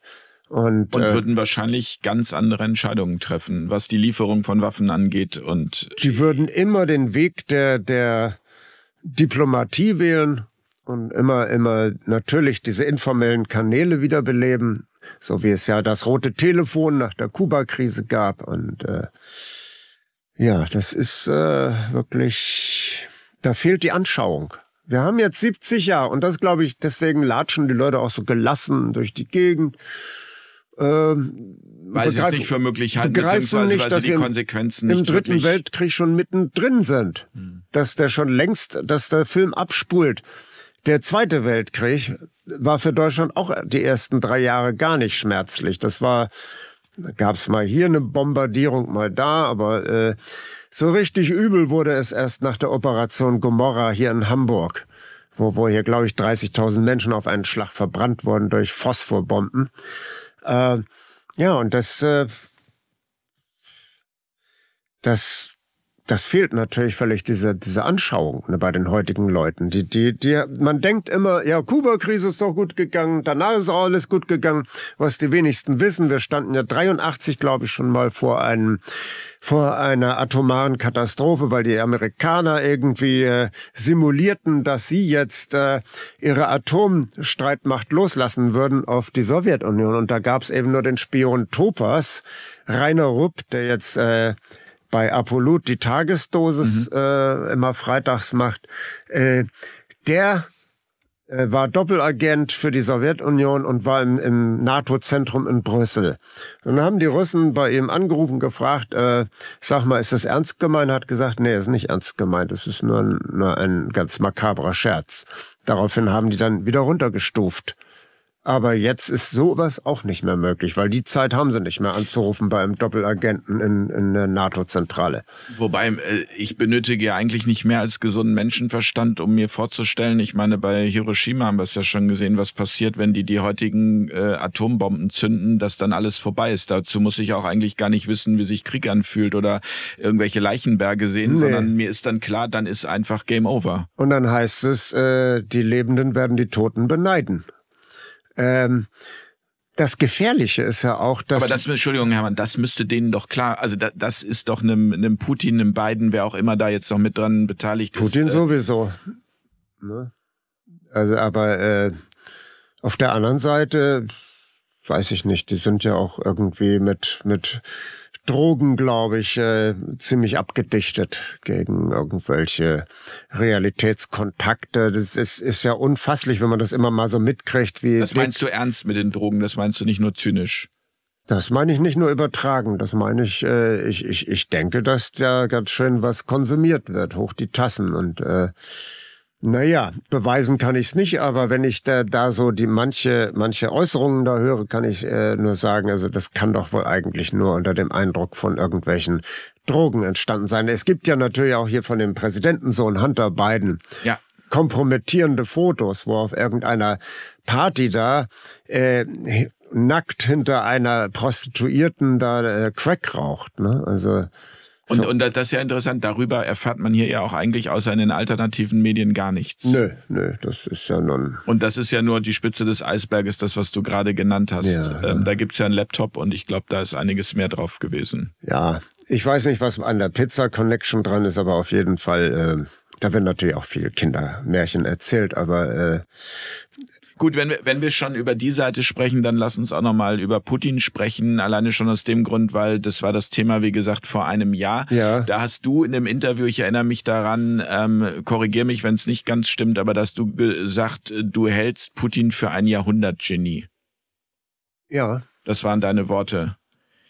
Jahrhundertgenie, äh, ich glaube das Jahrhundertpolitiker oder sowas. zu dem, ja. was wir gerade erleben, oder doch? Äh, Genie habe ich nicht gesagt, aber äh, Politiker, glaube ich, Jahrhundertpolitiker. Das meine ich auch ernst, weil er hat ja 20 Jahre lang äh, wirklich aus diesem Failed State, den der Jelzin hinterlassen hat, wieder ein funktionierendes Staatsgebilde gemacht, was äh, wo, wo auch, auch gewisse Elemente von Rechtsstaatlichkeit wieder da sind. Auf jeden Fall Löhne und Renten werden gezahlt. Wenn man das mit, den, mit der Ukraine vergleicht oder anderen Kaukasusrepubliken da unten, äh, muss man sagen, äh, ganz respektabel herausgearbeitet. Berechenbarkeit. Er hat lange genug, lange genug versucht, immer wieder, selbst wenn die Beleidigungen und die Angriffe aus dem Westen noch so unterirdisch waren, hat er immer noch von meinen westlichen Partnern gesprochen. Sehr lange. Und äh, was jetzt läuft, ja, das hat dich selbst überrascht, oder? Du hast es damals auch gesagt, du hast gesagt, irgendwie, es hat dich auch überrascht, dass plötzlich in Kiew ähm, ich hatte nicht damit gerechnet, dass er jetzt äh, ja diese diese Steilvorlage liefern würde. Er hatte keine Wahl, nach meinem Eindruck, weil eben, was ich eben beschrieben habe, Dark Eagle System, ne, der, der, der Westen ist immer näher rangerückt an die Grenze und hat eigentlich keine andere Wahl mehr gelassen, als irgendwann zu sagen, hier stopp, also hier ist irgendwo eine Grenze. Ich habe mir das lange genug angeguckt. In Georgien hat er zum ersten Mal die, die äh, gelbe Karte gezeigt, äh, als äh, Saakashvili, ein Gewährsmann der NATO, äh, dort eben versuchte, zwei abtrünnige Teilrepubliken, die sich aber schon beim Zerfall der Sowjetunion abgetrennt hatten, wieder mit militärischer Gewalt zurückzuholen. Da brennt ja auch gerade der Baum. Ja, ja, und äh, dann, äh, was völlig unerwartet war, dass dann die russischen Streitkräfte dort Paroli geboten haben und die da wieder vertrieben haben, sich da selber dann auch wieder zurückgezogen haben. Ähm, und jetzt äh, in der Tat die Situation, wie weit soll es denn noch rangehen an, an, an Moskau und gleichzeitig oben im Baltikum, also bis auf eine Entfernung von, von 50 Kilometern an, an Petersburg und so weiter. Äh, das heißt, er muss da irgendwann wirklich mal sagen, hier, hier ist eine Grenze und vor allen Dingen der Krieg in, in der Ukraine, der war ja schon seit 2014 unablässig. Da gab es ja immer wieder, also es ist ja so, äh, da kam dann eine, Regie eine Junta ran, durch äh, wirklich einen Putsch, die dann verordnet hat, äh, dass äh, alle Russisch zu sprechen hätten und dass, äh, dass alle jetzt ein neues äh, ukrainisches Narrativ zu glauben haben und wer das nicht tut, äh, kommt in den Knast. Also nicht Russisch zu sprechen. Russisch wurde verboten. Russisch wurde verboten, obwohl es eben auch äh, in Westukraine eine, eine häufig äh, verwendete Sprache war. Und äh, das haben ja dann diese äh, Ostrepubliken, die Donetsk, Luhansk und so weiter, die da weiterhin äh, ihre russische Tradition aufrechterhalten wollten, haben das ja nicht eingesehen und haben dann in dem Moment gesagt, nee, damit können wir aber jetzt nicht leben. Deswegen trennen wir uns einstweilen mal ab um, um zu gucken, äh, ob die mal wieder zur Vernunft kommen und dann können wir wieder miteinander reden. Daraus wurde aber, dass dann äh, äh, wirklich rechtsextreme Terroristen als Heckenschützen in diese Republiken reingeschossen haben und dabei 16.000 Menschen, unschuldige Zivilisten, umgebracht haben, Häuser mit Granaten zerstört und so weiter. Also immer versucht, eigentlich so, so eine Art, äh, ja, äh, so eine ethnische Säuberung da zustande zu bringen. Das Ziel war offenkundig, die Leute dort zu vergrämen, zu vergraulen, um dort ihnen genehme ukrainische Bürger anzusiedeln. Und äh, Jetzt hatte äh, Putin in der Tat wohl diesen, äh, ja, die Vereinnahmung dieser Republiken eben schon geplant, weil er hatte dann schon vor dieser äh, militärischen Spezialoperation diesen Leuten einen russischen Pass äh, gegeben. In dem Augenblick hat er natürlich dann sozusagen völkerrechtlich die Handhabe zu sagen, das sind russische Staatsbürger und ich bin natürlich qua Verfassung verpflichtet, die zu schützen.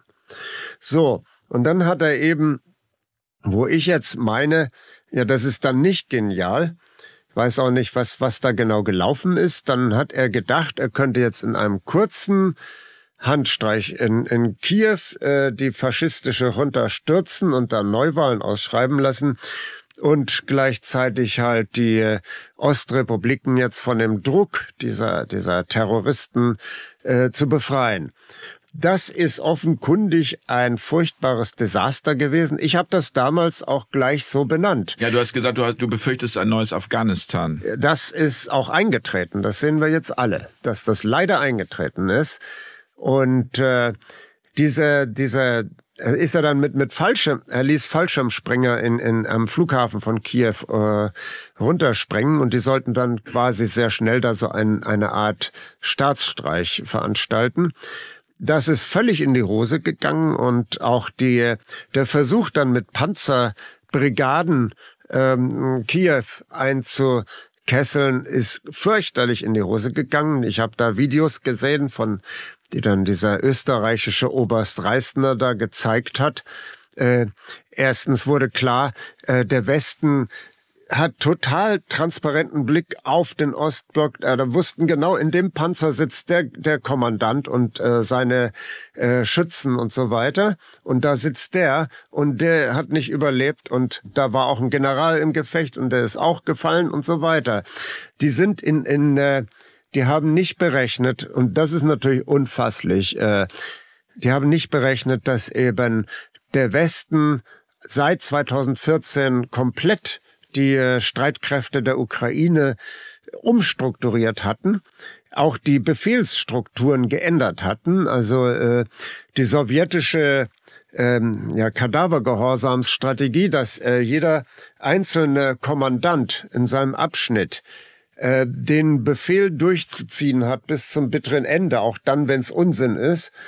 Äh, die haben das äh, eingetauscht gegen die Strategie, dass jeder Kommandant selber in einem gewissen Rahmen, wie bei der Bundeswehr auch, selber entscheiden kann, was er jetzt genau macht in dieser Situation. Ne?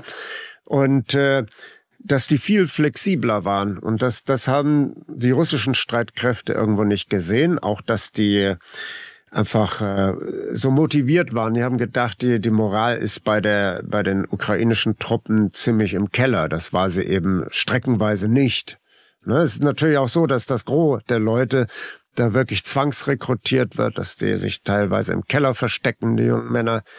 Aber hast du, hast du das Gefühl da, also ich meine, du beschäftigst dich da den ganzen Tag mit, aber hast du das Gefühl, da noch einen Überblick zu haben? Weil, also ich meine, der Überblick, also wie es da im Moment wirklich aussieht. Also wenn ich jetzt irgendwo unsere Presse verfolge, wo dann steht irgendwie, ähm, Russland ist quasi erledigt und dann höre ich aber in den alternativen Kanälen, das ist alles Quatsch, äh, die Ukraine ist erledigt. Also wo stehen wir da? Kannst du das äh, aus der, ich sag mal jetzt Adlerperspektive Kannst du dann schon ein Bild abgeben? Ja, also früher hat man ja in der Tat diese, diese Briefings von dem äh, Oberst Reisner gehabt, äh, dem österreichisch von der Akademie da, von der Militärakademie.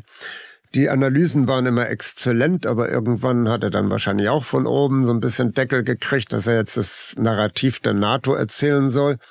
Es gibt aber so ein paar englischsprachige Leute, die sogar genau anhand des, des Satellitenbildes sagen, jetzt haben, jetzt haben die Russen gerade wieder den Kartoffelacker erobert und jetzt haben sie bei, bei Bachmut äh, den Nord, das Nordviertel erobert, genau sagen können und dann haben die die Autobahn jetzt gesperrt und da droht jetzt Einkreisung der ukrainischen Truppen.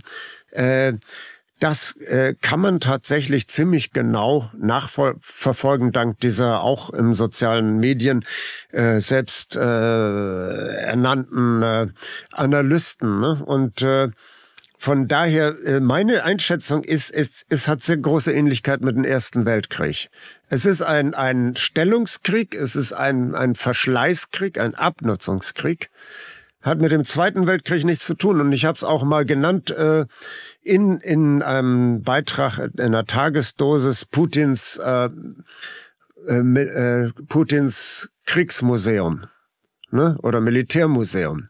Weil diese museale Kriegsführung, die führt heute keiner mehr.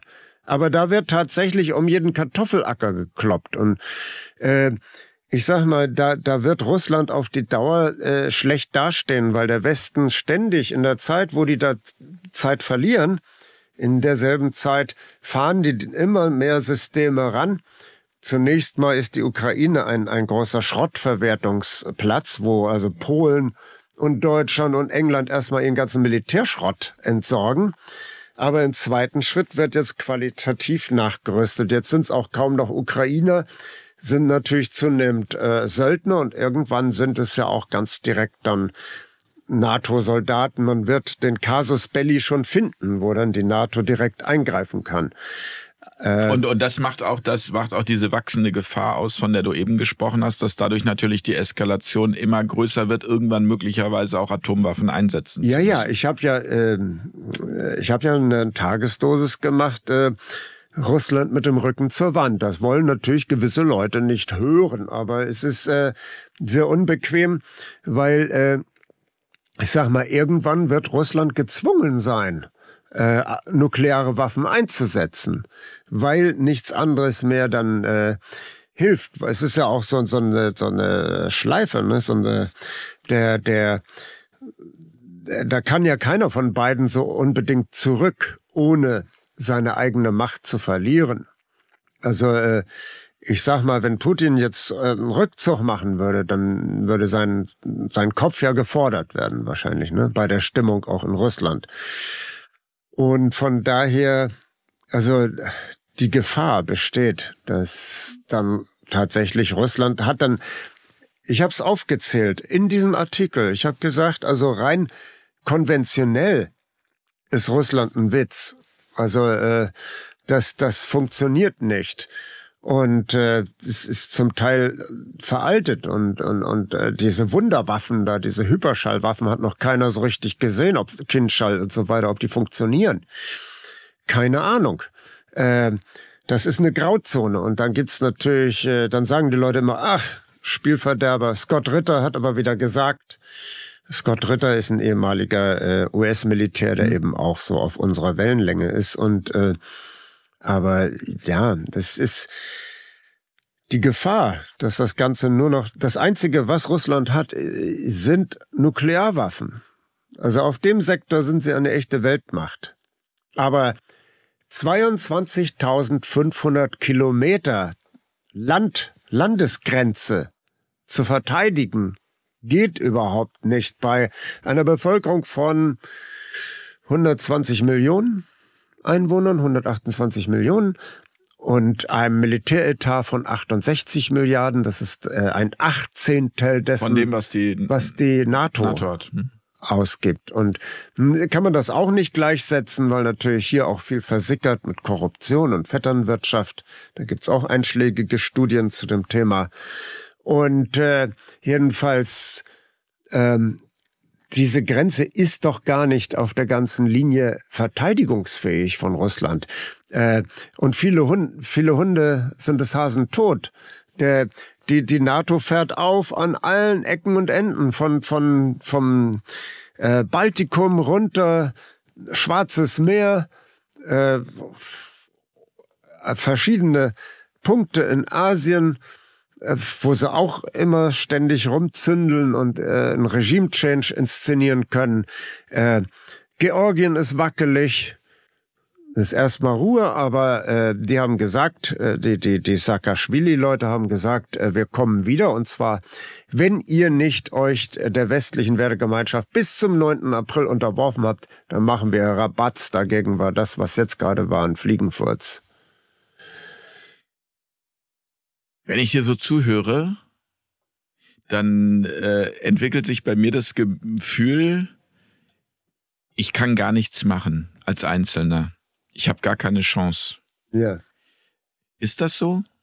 Ich glaube nicht. Zum Beispiel der, der amerikanische Wähler hat das Wort. Weil ich glaube, in den USA steigt die Kriegsunlust. Mhm. Die Wähler besonders der Republikaner. Man muss sagen, in den USA war immer eine ausgesuchte Staatsferne da. Also was, was der Farmer in Arizona äh, weiß von Washington, das ist so weit weg, das sind ja auch 5000 Kilometer oder sowas, unvorstellbar. Das ist so weit weg, da hat er seinen Acker, äh, Arizona ist jetzt kein Agrarland, war blöd ausgewählt, aber nehmen wir mal irgendein Agrarland, Oklahoma oder sonst was.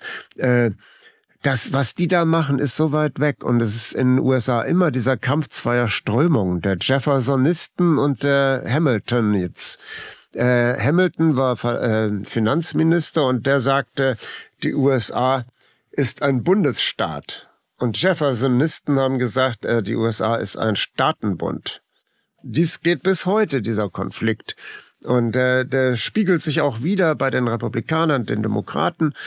Und äh, man kann sagen, dass die Demokraten eher die Hamiltonisten sind und die Republikaner eher die Jeffersonisten. Und äh, ich weiß, dass eben auch äh, von, von US-Amerikanern, die, die haben da überhaupt keinen Bock auf irgendeinen Krieg jetzt. Und äh, soweit sie überhaupt die Zusammenhänge verstehen, weil äh, oftmals leben sie ja sehr in ihrem eigenen Orbit und alles andere ist ihnen ziemlich egal. Aber die sagen, also Washington, was soll das? Was, was machen die denn da eigentlich einen Schwachsinn? Und da, äh, sag mal, Trump oder, oder äh, jetzt auch die Tea Party-Leute, die dann sagen, hier Schluss mit, mit Krieg gegen Russland und so weiter, die haben ganz schön Zulauf. Also äh, ich sag mal, die, die Wahlen werden dann spannend und äh, wenn sie, ich mache jetzt eine kleine Verschwörungstheorie auf, noch mit rechten Dingen zugehen. Ja, das wissen wir natürlich alle nicht. Also äh, ich denke, dass die letzte Zwischenwahl, wo die Republikaner so schwach abgeschnitten sind, wo ja alle gedacht haben, es gibt einen Erdrutsch-Sieg zugunsten der Republikaner, und das blieb ja völlig aus, statt des Knalls nur ein Piff aus der Platzpatrone. Ähm, das liegt oftmals auch an der Unfähigkeit dieser republikanischen Politiker oder auch an ihrer Bindung an gewisse Verpflichtungen, die sie haben, nicht? An, an die Wirtschaft. Und äh, aber insgesamt würde ich sagen, der Wähler hat schon das Wort und äh, insofern, dass er auch Stimmungen wiedergibt und äh, ja, äh, natürlich äh, die die die äh, Bereitschaft, noch irgendwie weiter Geld in den Ukraine-Krieg zu stecken, die nimmt in den USA drastisch ab. Das hört man aller Orten. Und wann ergreift der deutsche Wähler das Wort? Ja, das weiß ich auch nicht. Er wird ja auch immer wieder daran gehindert. Das muss man auch ganz klar sagen. Ähm, wodurch? Es, wodurch? Durch Maulwürfe in Parteien, in neuen Parteien. Äh, zum Beispiel auch dieses Verarschungsmanöver damals mit der Linkspartei. Ne? Du bist ja auch, du bist bei der Basis, ne? Ich bin bei der Basis, ja, noch. Aber es ist eben genau so ein Beispiel. Ich, ich möchte aber jetzt nicht hier so groß über noch laufende äh, Vorgänge hier äh, sprechen, aber ich meine, es ist, es ist sehr zähflüssig, die Entscheidungsprozesse. Wir haben Dritten Weltkrieg und bis jetzt, ich, ich bin da auch in der Friedens AG immer mal aktiv. Wir versuchen da irgendwie äh, eine, eine Konzeption zu entwickeln und, und, und äh, zu kommunizieren. irgendwie verstehe ich nicht ganz, warum unsere Arbeit, die ja nun auch schon seit einem Jahr läuft, nicht so richtig an die Öffentlichkeit kommt. Und da, da sind irgendwie so, so, so Bremsmechanismen, wo man sich auch fragt, ob das alles nur Unfähigkeit ist oder Zufall oder. Aber wenn du, Entschuldigung, wenn du die Erfahrung schon damals mit den Grünen gemacht ja. hast, ist es am Ende doch möglicherweise einfach das System. Also, dass immer wieder auch gute, ich sag mal, ähm, gute Ideen aber an den Punkt bringt, wo es eben dann wieder so ist, dass alle nur den Kopf schütteln und sagen, wie konnte das passieren? Ja. Also das Risiko hat ja jede Partei, die antritt, jede neue Partei. Ja, die Übernahme durch die transatlantischen Seilschaften, siehe oben, das ging ja bei den Grünen schon recht rasch, wo die SPD noch Jahrzehnte gebraucht hat und einige Kriege. Das ging bei den Grünen in fünf bis zehn Jahren, diese, dass sie von Transatlantikern durchdrungen waren die Linkspartei. Das war der Preis für die West, für die Westerweiterung durch die WSG, dass die dann eben ja, danach war plötzlich nicht mehr die Rede davon, eine Verfassungsklage gegen Agenda 2010 zu machen. Äh, die haben sich dazu gar nicht mehr geäußert. Und äh, aber das, das meine ich grundsätzlich. Ich weiß, das ist vielleicht ein bisschen auch eine, eine ketzerische Frage und das ist also für, für jede Partei gemeint, die versucht, neu auf die Beine zu kommen. Ist es nicht immer auch gleich wieder zum Scheitern verurteilt? Äh, muss nicht zwangsläufig. Wir sehen zum Beispiel in Frankreich Mélenchon. Der hat eine eigene oder eine neue Partei gegründet. Ähm, Frankreich äh, lässt sich nicht unterkriegen, also France Insoumise. Ne? Ähm, der hat's ja geschafft. Der hat bei der letzten Wahl diese Partei äh, zur, zur stärksten Gruppe gemacht, konnte zwar nicht jetzt komplett die Mehrheit kippen in, in, im Parlament, aber äh, wir sehen es jetzt gerade, die Rentenreform.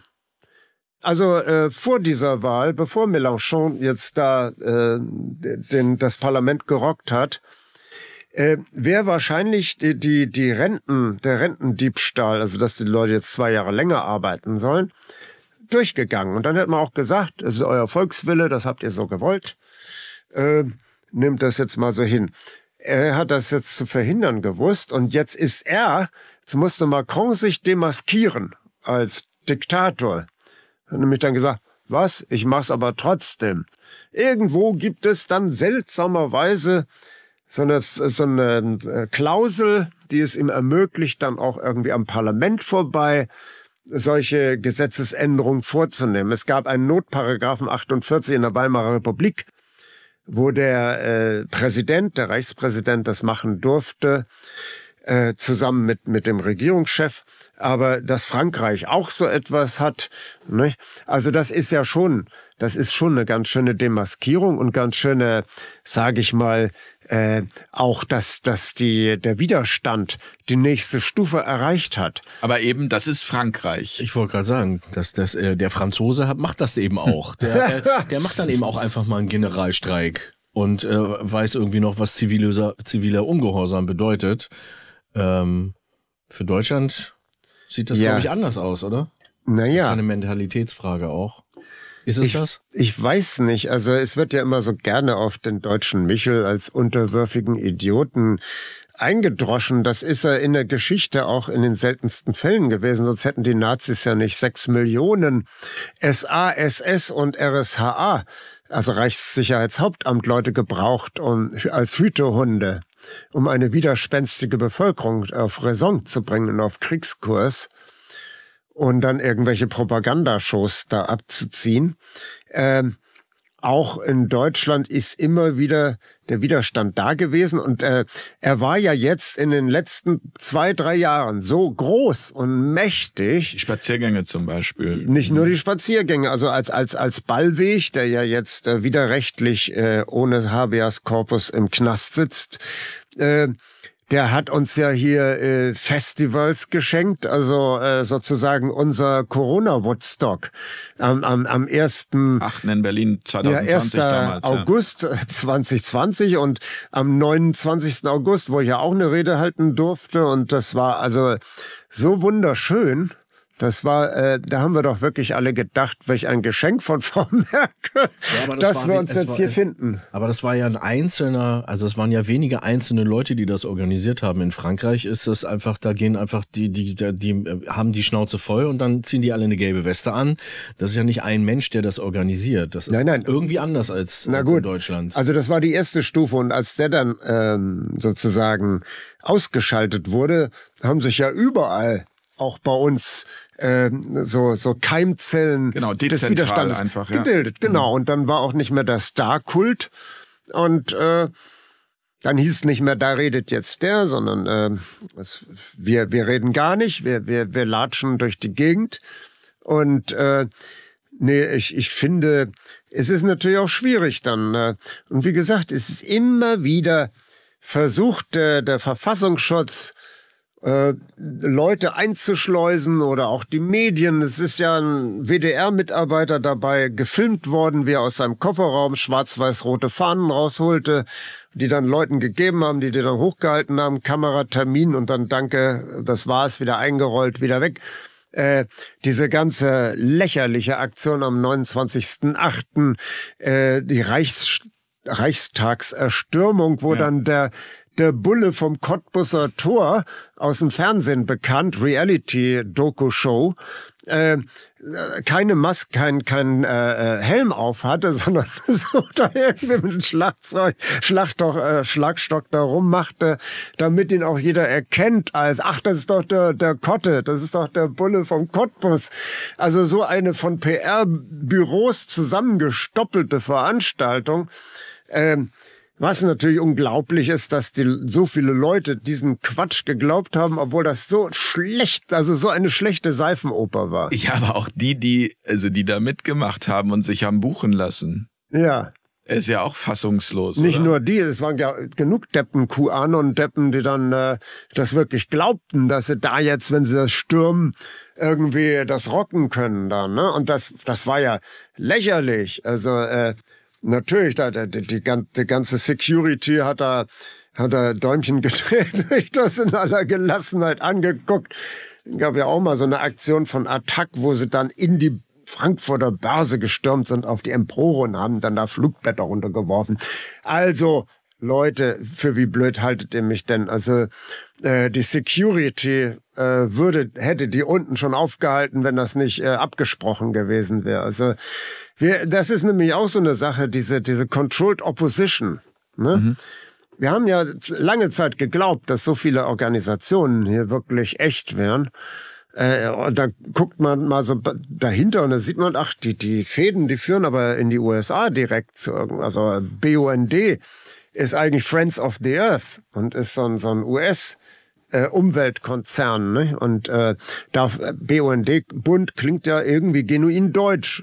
Und äh, Attac, ja, geht von Le Monde aus. Le Monde wird aber kontrolliert von äh, verschiedenen französischen äh, äh, Rüstungskonzernen und ähm, ja, nicht, also äh, das das kannst du natürlich jetzt auch beobachten, dass natürlich überall, auch in der Bewegung, irgendwelche Trolle drin sind, die dann natürlich versuchen, irgendwelche unsinnigen Forderungen zu stellen, die äh, von vornherein die Niederlage in sich tragen. Ne?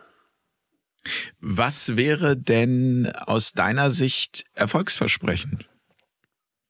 Erfolgsversprechen, dass wir zu einer, ich meine, das ist ja immer die Kernfrage, die wir hier auch bei Fair Talk haben. Wie wollen wir in Zukunft miteinander leben? Wie wollen wir als Gesellschaft in Zukunft miteinander leben? Was muss denn passieren, dass wir zum gesunden Menschenverstand zurückkehren? Mhm. Ja, zum einen äh, wird ja schon vieles gemacht in der Richtung, dass Leute sich zu Kleinzellen verbünden, verbinden, auch im täglichen Leben und in, in der Weiterbildung. Äh, was ich immer wieder sage, Leute, äh, ihr braucht ein Gehirn. Wenn, wenn man von der anderen Seite auf den Boden getreten worden ist, muss man doch überlegen, wie haben die das denn angestellt? Wenn die dann äh, lockere, informelle in, in Intelligenzzentren haben, die sozusagen äh, ja, äh, über verschiedene Fachgebiete hinaus sich verständigen und äh, Wissen austauschen, Denkfabriken bilden. Ich, mein Buch 2014, seitdem Seit Oktober 2, ja. die Macher hinter den Kulissen. Seitdem sage ich immer wieder bei Vorträgen, wir müssen selber Denkfabriken bilden, wir müssen selber Netzwerke des Wissens bilden. Die Leute immer, ja, ja, aber es kommt nichts zustande. Es, es, es, die Leute, äh, ich sag mal, das Gros der Leute ist leider so angelegt, dass sie lieber zu Hause sitzen und, und, und am virtuellen Stammtisch rummeckern, rumschimpfen. Und das ist auch das Problem bei der Basis zum Beispiel, dass so viele äh, Stänkerheinis da drin sind. Äh, äh die, die österreichische, äh, da gibt's eine MFG, eine neue Partei, die im mhm. Prinzip auch so auf diesen äh, dieser Welle ist. Die hat das Problem so gelöst, sie hat gesagt, es gibt zwei Mitglieder, verschiedene Mitgliederformen. Das eine sind die Fördermitglieder, die haben aber keine, die haben nur beschränkte Stimmrechte. Also passive Mitglieder. Genau, eher. Mhm. passive mhm. Mitglieder. Und ich sag mal, bei den Parteien sind 90 Prozent meistens passive Mitglieder, die dann aber sich doch berufen fühlen, überall irgendwie zumindest ihren Senf dazuzugeben, aber leider in den seltensten Fällen konstruktiv. Ich habe eine konstruktive Idee dazu mal entwickelt mit meiner besten Freundin. Wir haben uns gegenseitig ein Meckerverbot auferlegt. ja. Und hat das Das hat total gut funktioniert. Nachdem wir das begriffen haben, gibt's irgendwie dieses Gemecker nicht oder wenn es doch mal, dann fällt das eben sofort auf. Nee, hier, komm, das bringt uns nicht weiter. Was machen wir denn jetzt? Gut, ich war noch nicht ganz fertig. Nee. Also äh, diese MFG hat eben äh, den anderen Status Aktivisten. Aktivisten haben den vollen Stimmen, äh, das mhm. volle Stimmrecht. Und äh, ja, das, die sind in Parlamenten vertreten, die können effektiv arbeiten. Die Parteien, die neuen Parteien, die aus diesem Corona-Widerstand hervorgegangen sind, sind gelähmt, weil da immer äh, immer Leute rumstenkern und sich Leute berufen fühlen, überall mitreden zu müssen, ohne sich vorher ordentlich kundig zu machen und ohne, sage ich mal, anzuerkennen, was manche Leute sich auf Deutsch gesagt den Arsch aufreißen für die gute Sache und zwar unentgeltlich. Und das erstmal immer anzuerkennen. Ich meine, es hat sich vieles gebessert. Ich sag mal, aus, aus linken Parteien kenne ich da viel schlimmere äh, Schlammschlachten. Ne? Da gibt's das Wort Danke überhaupt nicht. Also da hat man schon viel dazugelernt. Ne? Und dass, dass man sich angewöhnt zu sagen, ich erkenne an, was du geleistet hast und dann vielleicht zur Kritik kommt. Aber oftmals ist das auch nicht der Fall und Insofern würde ich schon sagen, ja, die Deutschen sind ein Volk, leider Gottes, sie sind in vielen Dingen sehr empathisch, sehr, auch, auch sehr gutmütig, wenn man das international so vergleicht, sehr hilfsbereit, aber Viele fühlen sich auch berufen, dann äh, den Oberlehrer zu spielen. Und obrigkeitshörig. Und obrigkeitshörigkeit. Das haben wir ja in der Corona-Zeit nun wirklich ja, das hat also ich, deutlich erlebt. Das hat mich nun auch geschockt. Ich hatte die, eigentlich die die Deutschen in Schutz genommen und gesagt, sie haben doch jetzt äh, seit seit Willy Brandt sozusagen und und und den ganzen ja äh, also äh, seit der 68er Zeit doch viel dazugelernt, aber was ich da jetzt gerade bei den Leuten erlebt habe, ich war geschockt, dann sehe ich da irgendwie profilierte Linke da gehorsam mit, mit dem, äh, mit diesem Maulkorb da äh, beim Bäcker einkaufen. In Berlin, Berlin habe ich immer gekannt als und geschätzt als eine Stadt, die, wo die Bevölkerung so ein bisschen so, so ein äh, obrigkeitskritische mhm. Grundhaltung hatte und das auch mit, mit, mit äh, derben Witzen immer gewürzt hat. Und äh, aber diese Berliner gibt's nicht mehr. Und äh, was ich da gesehen habe, war so unterwürfig. Oder Köln, dann lassen die sich ihren Karneval irgendwo versauen und, und verbieten. Die Kölner, ich habe gedacht, wenn man denen den Karneval verbietet, dann gibt's dann, Revolution. Dann ist vorbei, weil ja. die berufen sich doch auch so auf die französische Revolution und dass sie da unter Napoleon zum ersten Mal so etwas wie Demokratie geschmeckt haben und Meinungsfreiheit. Ne? Was ihnen dann ja wieder genommen wurde. Und Aber danke für das Stichwort Napoleon, das passt gerade richtig gut. Weißt ja. du auch warum? Also ich, ich versuche jetzt mal einen Übergang, ja, weil ich habe nämlich ja. ein Zitat von Napoleon äh, gefunden und du machst ja ein Format, auch wenn das jetzt vielleicht so ein bisschen eine Zäsur in diesem Gespräch ist, aber irgendwie greift ja doch alles ineinander und passt zusammen. Du machst ein Format auf Apolut, das heißt History. Jawohl. Ja. Und ähm, das Zitat von Napoleon: Geschichte ist nur eine Reihe von Lügen, auf die man sich geeinigt hat. Ja, Würdest du das unterschreiben?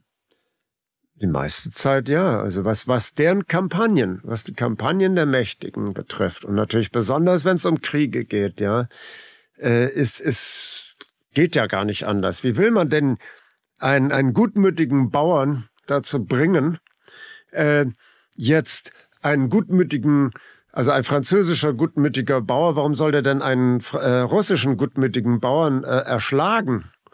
Und damit. Ja, das äh, ist ja grundsätzlich immer die Geschichte. Niemand, also 99,9 Prozent haben kein Interesse an Krieg. Es geht nur mit Lüge und Spaltung. Ja, ja, ja. Also es, das hat ja zu diesem verrückten Phänomen geführt, dass im Ersten Weltkrieg in der Gefechtspause Engländer und deutsche Soldaten sich getroffen haben und Fußball gespielt haben. Und dann kam das Signal, dann sind sie wieder in ihre Gräben, haben sich wieder gegenseitig totgeschossen.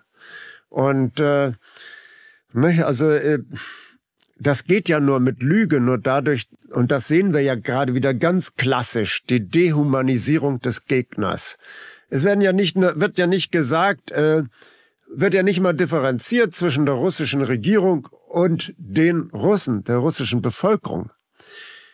Im Moment hat es sich ja wieder ein bisschen eingepegelt, aber am, äh, so als das anfing mit dem ja. Ukraine-Krieg, was da an, an, an Russenhetze hier los war, also das, das war mich, zum das Schämen. Auch, das hat mich auch wirklich geschockt. Also ein Beispiel an der Stelle, ich habe es schon mal an einer anderen Stelle gebracht, aber ich also immer wieder, weil ich es so fassungslos finde, dass äh, Playmobil beschlossen hat, kein Spielzeug mehr nach Russland zu liefern. Aha. Also wo man so sagte, ey, was ist denn hier los? Was können denn russische Kinder bitte schön dafür, was ihr Präsident macht? Ja, also ja. Ähm, wie kann man das so einfach durchwinken als Nachricht, ohne dass da irgendein Gegenprotest kommt? Oder auch diese Dehumanisierung von Putin und die ging ja schon vorher los dass das, äh, das Handelsblatt hatte vorher schon eine widerwärtige äh, Collage gemacht, also Putin als, äh, der hat so wie so, ein, wie so eine Ratte den Erdball umklammert. Das war zwei Monate vor Ach, das haben wir Krieg. aber schon 2014 gehabt, tatsächlich. Auch die Spiegeltitel, die unsäglichen. Ja, ja. Ne? Gut. Ähm, schon richtig lange. Da war, glaube ich, bis auf die Augen vielleicht von Putin nichts echt. Alles andere waren also irgendwie aus, aus irgendwelchen, was weiß ich, es war eine, eine völlig dehumanisierende Kampagne. Und das hat man ja bei Saddam Hussein gemacht, das hat man bei Gaddafi gemacht. Alle, die man umbringen will, die werden erstmal dehumanisiert. Und dann wird sofort auch das ganze Volk dehumanisiert. Da kommt, da kann man anscheinend mit Knopfdruck die, äh, den russischen Untermenschen von Hitler wieder hervorholen und reaktivieren. Da war unter Adenauer schon mal wieder aus, aus der Kiste geholt worden, als äh, Westdeutschland richtig auf Linie gebracht wurde. Und jetzt wieder äh, mit einer anderen Generation, wo, wo äh, ja, ich meine, äh, das, es hat keine Austauschprogramme gegeben, glaube ich, zwischen deutschen und russischen Schülern in größerem Stil oder irgendwie Städtepartnerschaften oder sonst was hat es schon vorher nicht gegeben. Und äh, aber dann auf einmal, also selbst da war da ein Dirigent, ein russischer Dirigent, da wurde gefeuert, eine, eine Opernsängerin, und hatte von denen verlangt, da gebetsmühlenartig dann äh, Putin zu verurteilen. Und die haben gesagt, nee, ich bin russischer Staatsbürger und ich, ich, ich äh, verstehe, was, was, was Putin meint.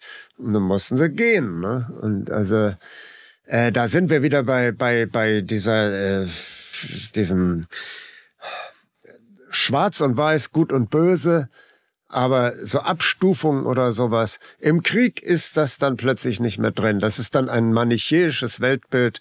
Da ist gut, da sind die Kräfte des Himmels und da sind die Kräfte des, der Hölle. Teile und Herrsche. Das ist wieder was anderes. Teile und Herrsche kommt noch dazu. Ähm, in dem Falle ist es ganz simpel. Normalerweise Teile und Herrsche, also Cäsar hatte das ja aufgebracht und als er dann Gallien eroberte, hat er eben diese ganzen kleinen Stämme da gegeneinander aufgebracht und das ist ja jetzt, äh, ich sag mal, das ist, ist die Strategie auch von Brzezinski gewesen, der gesagt hat, man muss das Sowjetreich zerlegen, indem man die ethnischen Konflikte schürt. Ne? In diesem Falle äh, ist es ja jetzt mehr so eine, so eine sehr grobe schwarz-weiß Trennlinie, ne? Und äh, das Reich des Guten, das Reich des Bösen. Und auf einmal ist alles, was, was mit Russland zu tun hat, also böse. und schlecht und äh, ja, darf man gar gut, nicht gut, zur Kenntnis nehmen, was gut, der das, sagt. Das wurde ja vorher auch schon trainiert äh, in der Corona-Krise, dieses die Ungeimpften. Genau, genau. Und das also plötzlich dachte man ja irgendwie, keine Ahnung, man es war ja ganz einfach ein guter Mensch zu sein. Und es ist ja auch jetzt ganz einfach ein guter Mensch zu sein, wenn ich ähm, die richtigen Dinge sage, wenn ich die richtige Fahne an meinen Balkon hänge und ähm, wenn ich das befolge, was mir ähm, gesagt wird. Genau. Also Aber das hat eben nichts mehr, das ist, das verwundert mich so, dass ich denke, das hat ja nichts mehr mit Freiheit, Demokratie und dem zu tun, so wie ich das verstehe und so wie das aus meinem äh, äh, Verständnis heraus auch eigentlich die meisten Menschen gerne leben würden aber das trotzdem irgendwie opfern, um, ja, um was? Um ihre Komfortzone nicht zu verlieren, die eigentlich gar keine Komfortzone ist. Da ist das Wort ja schon mal falsch. Meistens ist die Komfortzone ja gar keine Komfortzone. Immer weniger. Sondern eher eine Hamsterradzone oder man ja. müsste dem einen Immer anderen äh, Begriff geben. Ja. Genau. Also die Frage ist, was, ähm, ja, was, was,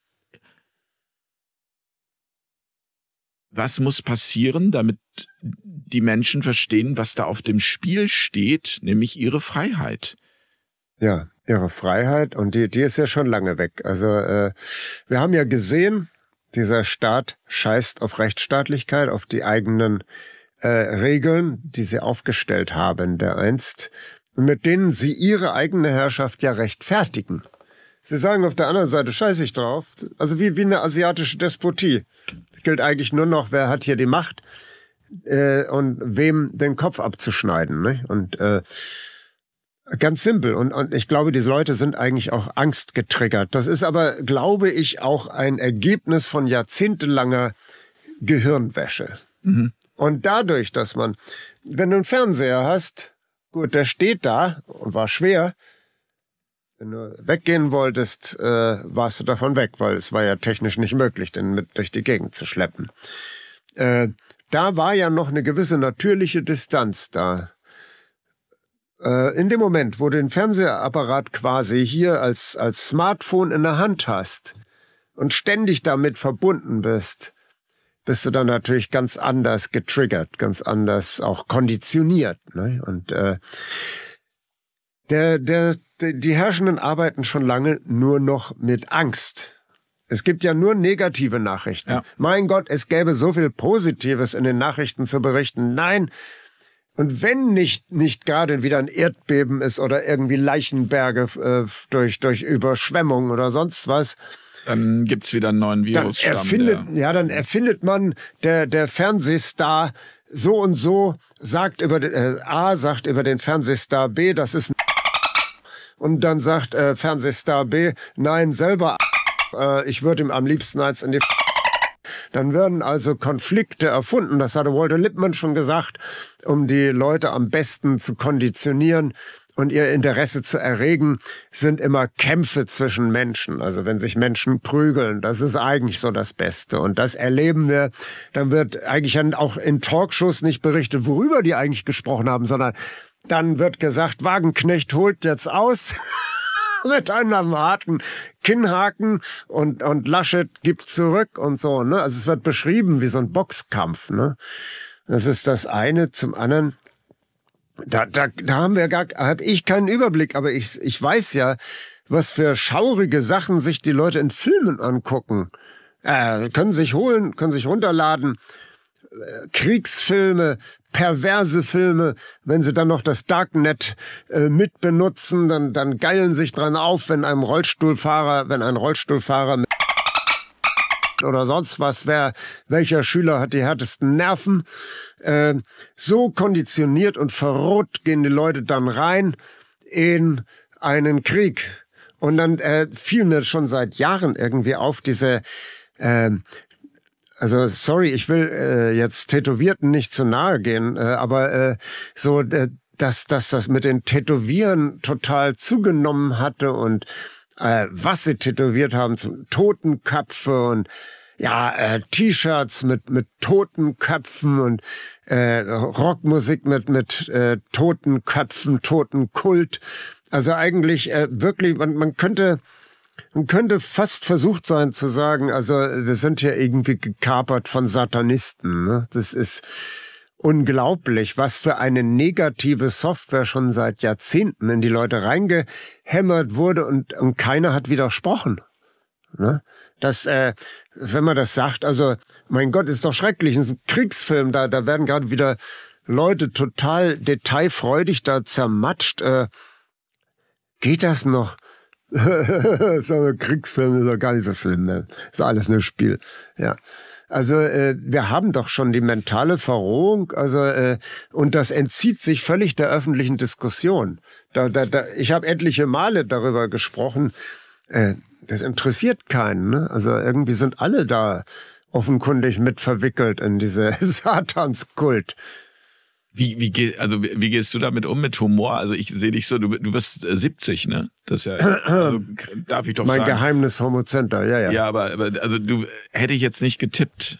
Ja, also ja. Ich hätte dich wesentlich jünger getippt, von daher ähm, Danke zeig sehr. mir, ja, das zeigt Du weißt, mir, was ich gehört. Nein, nee, ich bin ehrlich. Ja, und, ja. Ähm, Das stimmt schon. ich bin ehrlich und äh, habe mich einfach gefragt, wenn man sich den ganzen Tag auch mit so einem, ich sag mal Ja. jetzt, äh, Zeug beschäftigen muss, was, äh, naja, also auch an die, Frage, ja. an die Substanz geht, ähm, wie äh, holst du dich da raus? Humor? Also wie bleibst du jung? Ja. Also äh, genau dadurch, dass man, dass ich da immer wieder einen Cut mache, wie man so neudeutsch sagt, einen Schnitt mache und äh, mich dann mit schönen Dingen beschäftige, Musik mache oder äh, ich bin jetzt kein großes Licht im Musikmachen, aber ich gehe dann in den Übungsraum und und tob mich da richtig aus. Da kann ich richtig laut sein und äh, oder wir haben auch äh, während der ganzen Corona-Zeit da so ein Underground-Disco an Lanufer unterhalten mit wirklich äh, total geiler Ethno, Ethno-Techno-Musik, also äh, eher Ethno. Und äh, man hat uns auch gewähren lassen, also denke schon, das wurde war bekannt, aber das hat man auch äh, toleriert. Und äh, jedenfalls ähm, jeden Samstag eigentlich als feste Instanz, auch bei minus minus fünf Grad, ne? Und äh, bisschen äh, so, so ein Grillfeuer dabei, da haben sich dann alle gewärmt und äh, da hatte man sein, seine freie Welt dann, ne? Mit ein paar Freunden und äh, Hat sich, hat sich das äh, bei dir auch verändert? Andere, also hat sich der Freundeskreis auch ausgetauscht? Ja, der hat sich nat- ja doch, würde ich schon sagen, ja. Äh, Der hat sich, weil, weil das kannst du nicht aushalten, da Leuten ständig von Adam bis Eva äh, alles zu erklären. Ja, die Ursprünge ist so nervig, äh, weil sie es auch gar nicht wissen wollen. Natürlich hat sich es ausgetauscht. Und ich sage auch etwas sehr paradox klingendes. Also 2020 war eines meiner glücklichsten Lebensjahre, weil man hat plötzlich äh, Leute getroffen. Man hat, ich habe gelitten jahrelang darunter, dass äh, unter dieser Unverbindlichkeit. Wenn nicht heute, dann morgen. Ja, gut. Äh, Ja, warum bist du wieder nicht gekommen? Ja, nee, ach, äh, na, ich hab's vergessen. Ja. Nee, es war jetzt plötzlich eine neue Verbindlichkeit da, ne? Also Ver äh, Verabredungen wurden eingehalten. Die Leute haben sich gefreut, wie die Schneekönige, wenn sie zusammen waren und äh, also in dieser, das, das war mir auch klar, das war so eine jungfräuliche äh, Stadium einer Bewegung, wo man sich noch nicht kannte, noch nicht wusste, was für äh, neurotische äh, äh, Anhäufungen da manchmal gegenüberstanden. Äh, nee, aber im Großen und Ganzen, äh, man hat zusammen was unternommen. Und äh, ich fühlte mich ein bisschen an 68 erinnert. Es war so ein, so ein Experimentierfreude, so eine einfach für alles offen, für, für jede Idee offen. Und dann kommt da einer an und sagt, ja, ich äh, hätte jetzt eigentlich im Rollstuhl sitzen müssen, aber ich habe da irgendwie einen äh, eine Methode gefunden, äh, wie ich mich da selber wieder raushole und äh, alle- Ich wollte gerade sagen, es kam plötzlich ein ganz viel Spezialwissen auch äh, Ja. dazu, also auch im medizinischen Bereich. Also ganz viel Dingen, von denen ich auch äh, so, so noch nie gehört hatte, obwohl ich mich mit dem Thema schon seit viel längerer Zeit beschäftige.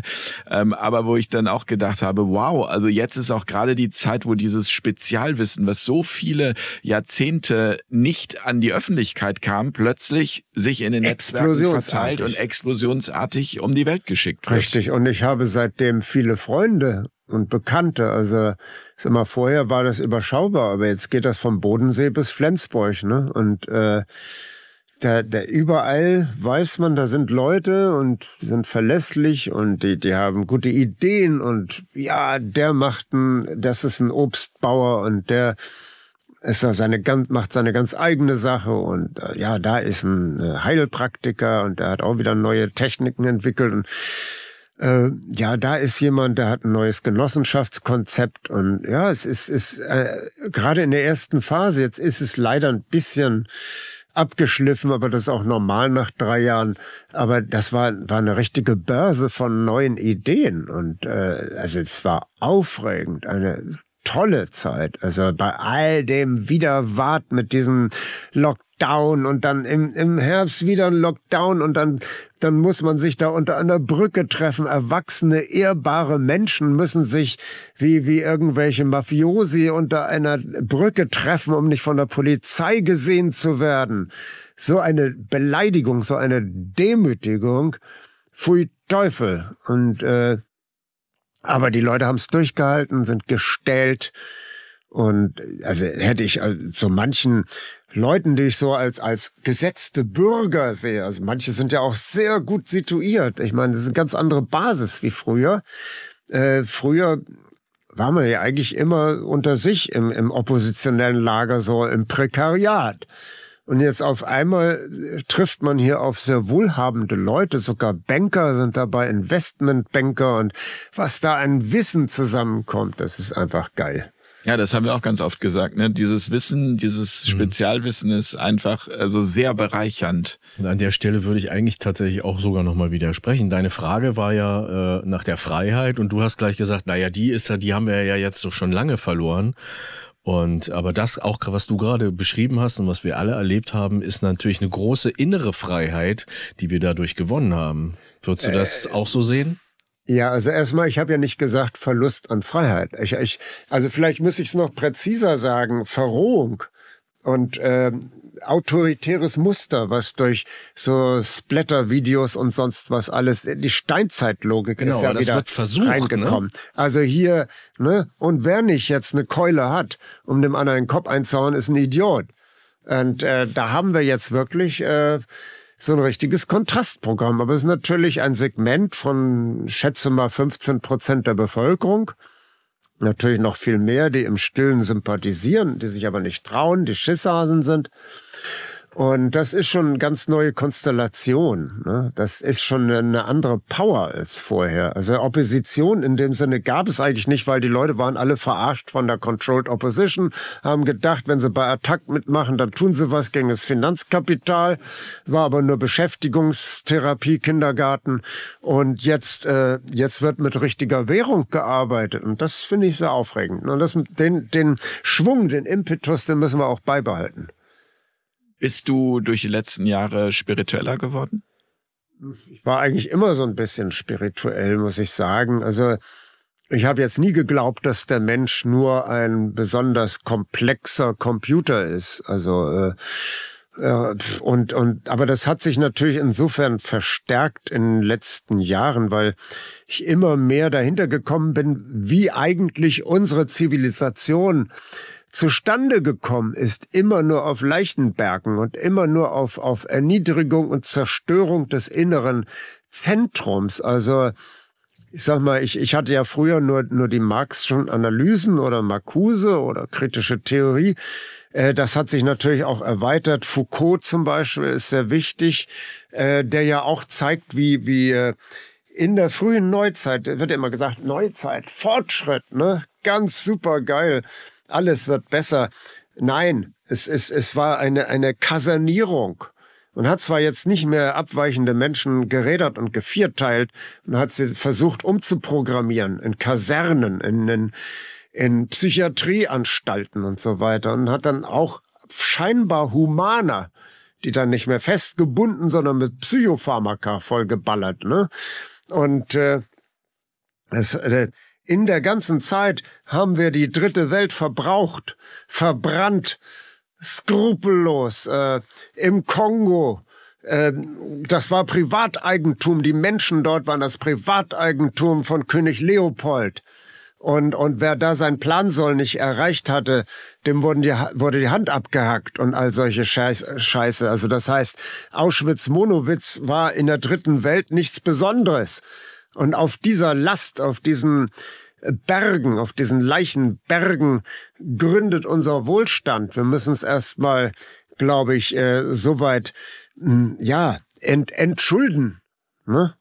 Und auch uns entschuldigen bei der dritten Welt äh, dass unser Wohlstand hier äh, so, so darauf beruht, so äh, alles zu verbrauchen, Wälder zu verbrauchen, alles ist ein, die westliche Wirtschaft ist ein großer Schredder, der in Sekundenschnelle aus unwiederbringlich schönen Sachen äh, kurzfristig Konsumartikel macht und dann eine riesige Müllberge, die dann dahin zurückgebracht werden nach Afrika, wo sie herkommen, wo, wo vorher das, der, der Rohstoff herkam. Ne?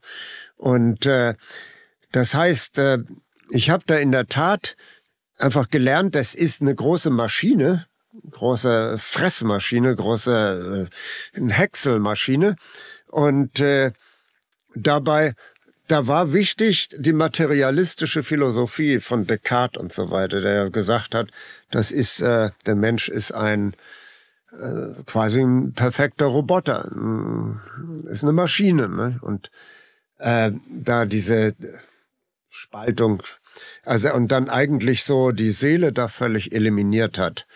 Und ich denke, was an diesem historischen Materialismus eben der Fehler ist, das Schlimme war an Marx, dass er nicht wiederum auch dialektisch überwunden wurde. Und das müssten wir eigentlich sozusagen leisten. Äh, jetzt die, die, äh, diese spirituellen Dinge mit einzuarbeiten in unsere Gesellschaftspolitik, äh, in unsere Gesellschaftsstrategie und äh, mal wegen das, das, das kann natürlich die Pharmaindustrie überhaupt nicht gebrauchen, wenn, wenn wir an die Selbstheilungskräfte des Menschen appellieren, wenn wir äh, und sie aktivieren und wissen, wie man es macht und äh, auch wenn es heißt, ja, Placebo, das, der, der Mann ist durch Placebo gesund geworden. Super. Was, ent, was entwertet das denn den Heilungsprozess? Die Heilung hat immer recht. Das heißt, dem ist es gelungen, aus Versehen, durch eine geschickte Täuschung, Selbstheilungseffekte äh, wachzurufen. Ja. Es lebe Placebo. Ich meine, äh, wenn man das so sieht, äh, was, was sich da, da haben wir, glaube ich, jetzt eine Widerstandsbewegung. Wenn wir das richtig begreifen, sind wir unschlagbar, weil wenn wir das jetzt mit den vorherigen Erkenntnissen kombinieren, mit der Spiritualität, dass wir jetzt akzeptieren, dass wir auch viele seelische Kräfte haben, mit denen wir was wuppen können, dann äh, sind wir ja unschlagbar, weil das sind doch ganz arme, kranke Würste, die uns da gerade äh, in, in den Untergang treiben wollen. Diese, diese abgelösten Eliten da in ihrem, in ihren goldenen Käfigen.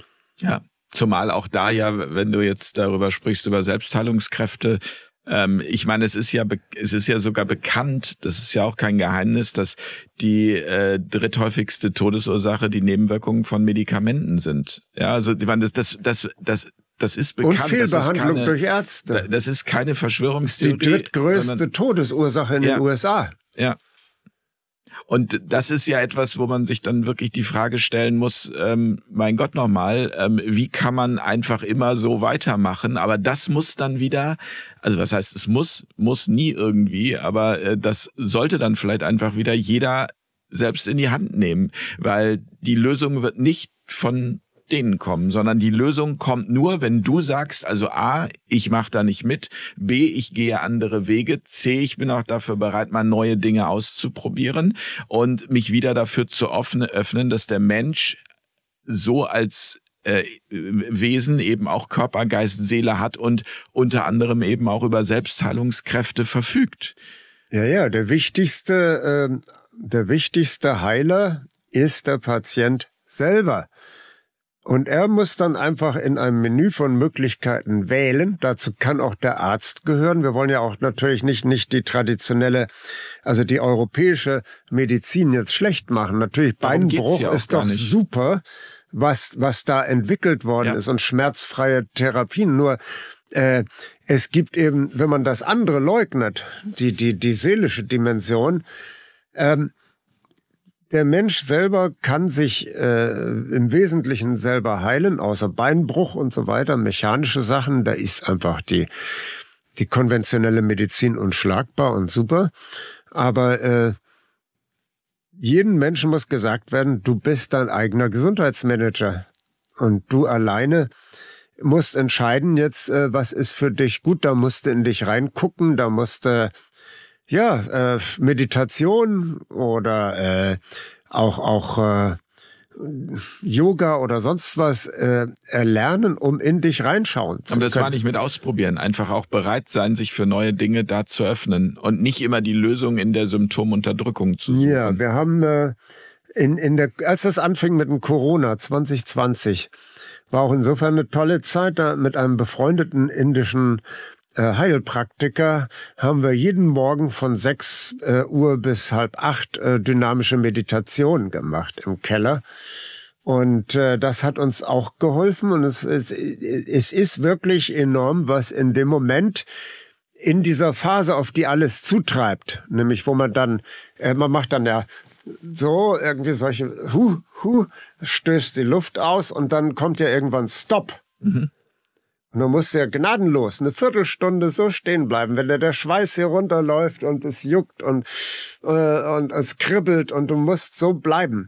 Und äh, du hast dich vorher so weit vorbereitet. Äh, das ist ein Moment von äußerster Intensität, in der du wirklich ziemlich in dich hineinschauen kannst. Und äh, dann kommt ja danach die, die Tanzphase und dann noch die, die Chill-Out-Phase und äh, das sind auf jeden Fall alles, alles, es gibt so viele einfache Methoden, die nichts kosten, um sich irgendwo, äh, sage ich mal, zum Herrn seiner eigenen Gesundheit zu machen. Ich zum Beispiel auch mit Musik machen, mit, mit Obertongesang, äh, da komme ich dann auch in so eine Sphäre rein. Mhm. Äh, das ist ganz klar so ein Biofeedback. Du musst eben einfach so ein Biofeedback äh, äh, haben, mit dem du deine Schwingung, deine Atmung direkt beeinflussen kannst. Ne?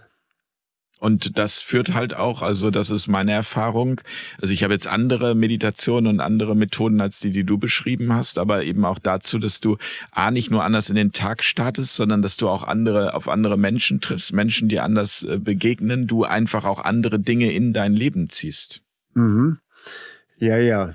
Wobei, das ist natürlich auch so eine Sache, äh, wenn die Leute mal schlechte Laune haben. Darum geht's auch nicht. Es geht auch nicht darum, die schlechte Laune zu verdrängen. Die schlechte Laune darf da sein. Nee, nee, nur, nur es spiegelt auf dich zurück. Also ja. in dem Moment, wo du, ich, ich habe das öfter erlebt, ich mach die Haustür auf, guckt mich da jemand total giftig an. Ich war vorher bester Laune. Äh, das ist nicht so einfach, das dann wieder damit nicht in Resonanz zu, zu gehen, ja. Ne? Sondern das ist erstmal drin, dann denkst du, wie kann denn das sein, dass jemand so scheiße drauf ist, ne? Aber ich lerne auf dem Sektor auch. Also äh, bin da schon viel gelassener geworden und viel toleranter und äh, lass den Stinker da mal so. Es ist ein ewiges braucht. Lernen. Ja, ja. Also es ist ein in dem Bereich, gerade in dem Bereich, es ist ein ewiges Lernen. Also ja, das, aber das funktioniert gut tatsächlich. Ja, je öfter man das sagt irgendwie, ja. also je, je öfter man den Stinker Stinker sein lässt. Ich habe da immer, ich habe immer eine schöne, ich habe immer eine, eine, schöne Variante dafür und denke mir gut, wenn er sich Zeit dafür nehmen will, jetzt scheiße drauf zu sein, ist das seine Zeit. Was habe ich damit zu tun? Genau, ja. es, dies damit nicht in Resonanz gehen, genau. das ist der Trick, es loszulassen. Aber das ist natürlich extrem schwierig. Und ja. das ist auch etwas, was du trainieren musst. Das ist eben auch so, wie wenn du, keine Ahnung, Marathon, Marathon laufen möchtest, dann geht das auch nicht von heute auf morgen. Das ist einfach ein Prozess. Ja, ja, immer ein Stück mehr. Das ist übrigens auch äh, Geheimnis meiner e ewigen Jugend. Ich fahre möglichst, wenn es geht, mit einem Fahrrad, nicht mit einem leichten Rennrad, sondern mit einem Tourenrad äh, 35 Kilometer durch den Landkreis. Also jeden Tag. Ne? Das ist, oder im Sommer dann eben auch schwimmen mit meiner Frau. Meine Frau ist sehr sportlich und, und schwimmt gerne und da schwimmen wir auch viel. Und äh, im Übrigen waren wir jetzt auch gerade zwei Monate in Südostasien in, in äh, Laos, in, in Nordvietnam und in, äh, in zum Schluss zum Chill-Out zwei Wochen noch auf, auf äh, in, in äh, Thailand auf einer Insel, mhm. Koh Chang. Und äh, ja, das ist auch, da haben wir natürlich mehr Photonen auf uns wirken lassen. Wir kamen dann natürlich braun gebrannt hier an Und äh, ich sag mal auch die asiatische Kost ist also sehr gesund, also äh, sehr wenig Fett, sehr viel, sehr wenig Zucker, alles frisch vom Feld. Also was sie auf ihren Märkten haben, das ist, da sind wir so arme Wichte. Ja. Eine Auswahl und oh, und eine Frische. Und äh, zwei Wochen hier und ich hatte schon wieder irgendwie Probleme mit der Galle. Also Aber das habe ich, da bin ich auch nicht wieder ins Krankenhaus gegangen, sondern äh, meine Frau hat mir dann äh, so eine Mischung aus DMSO und CDL gemacht und wieder natürlich dann auch Diät gemacht erstmal und dann war es auch wieder gut nach zwei Wochen. Ne?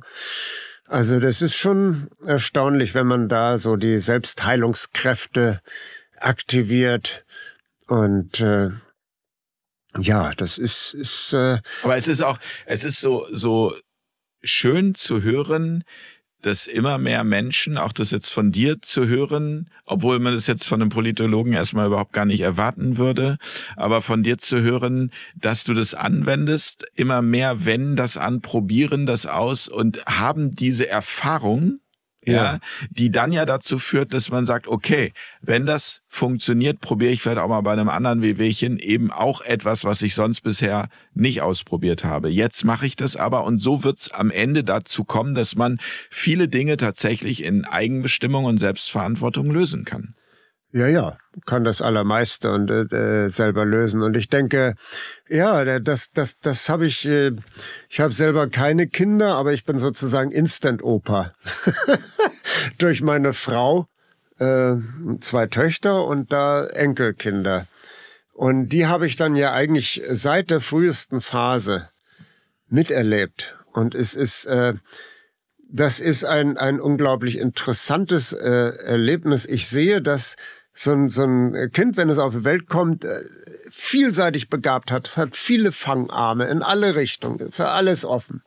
Und dann kommt irgendwann Erziehung, nennt man das bei uns, und Bildung, und dann wird ein Fangarm nach dem anderen abgeschnitten, ja. bis nur noch die Fangarme übrig bleiben, die notwendig sind, damit derjenige als untergeordnetes Glied in einer Kette funktioniert, als äh, Rädchen in einem Uhrwerk. Und äh, was ich auch immer wieder spannend finde, ist, äh, dass Kinder so in den ersten zwei Jahren äh, eine sehr vollendete Persönlichkeit mitbringen und ich habe irgendwie das Gefühl, das ist, ist eine Reinkarnation. Die haben dann aus ihrer vorherigen Inkarnation noch so viel mitgebracht an Persönlichkeitsmerkmalen.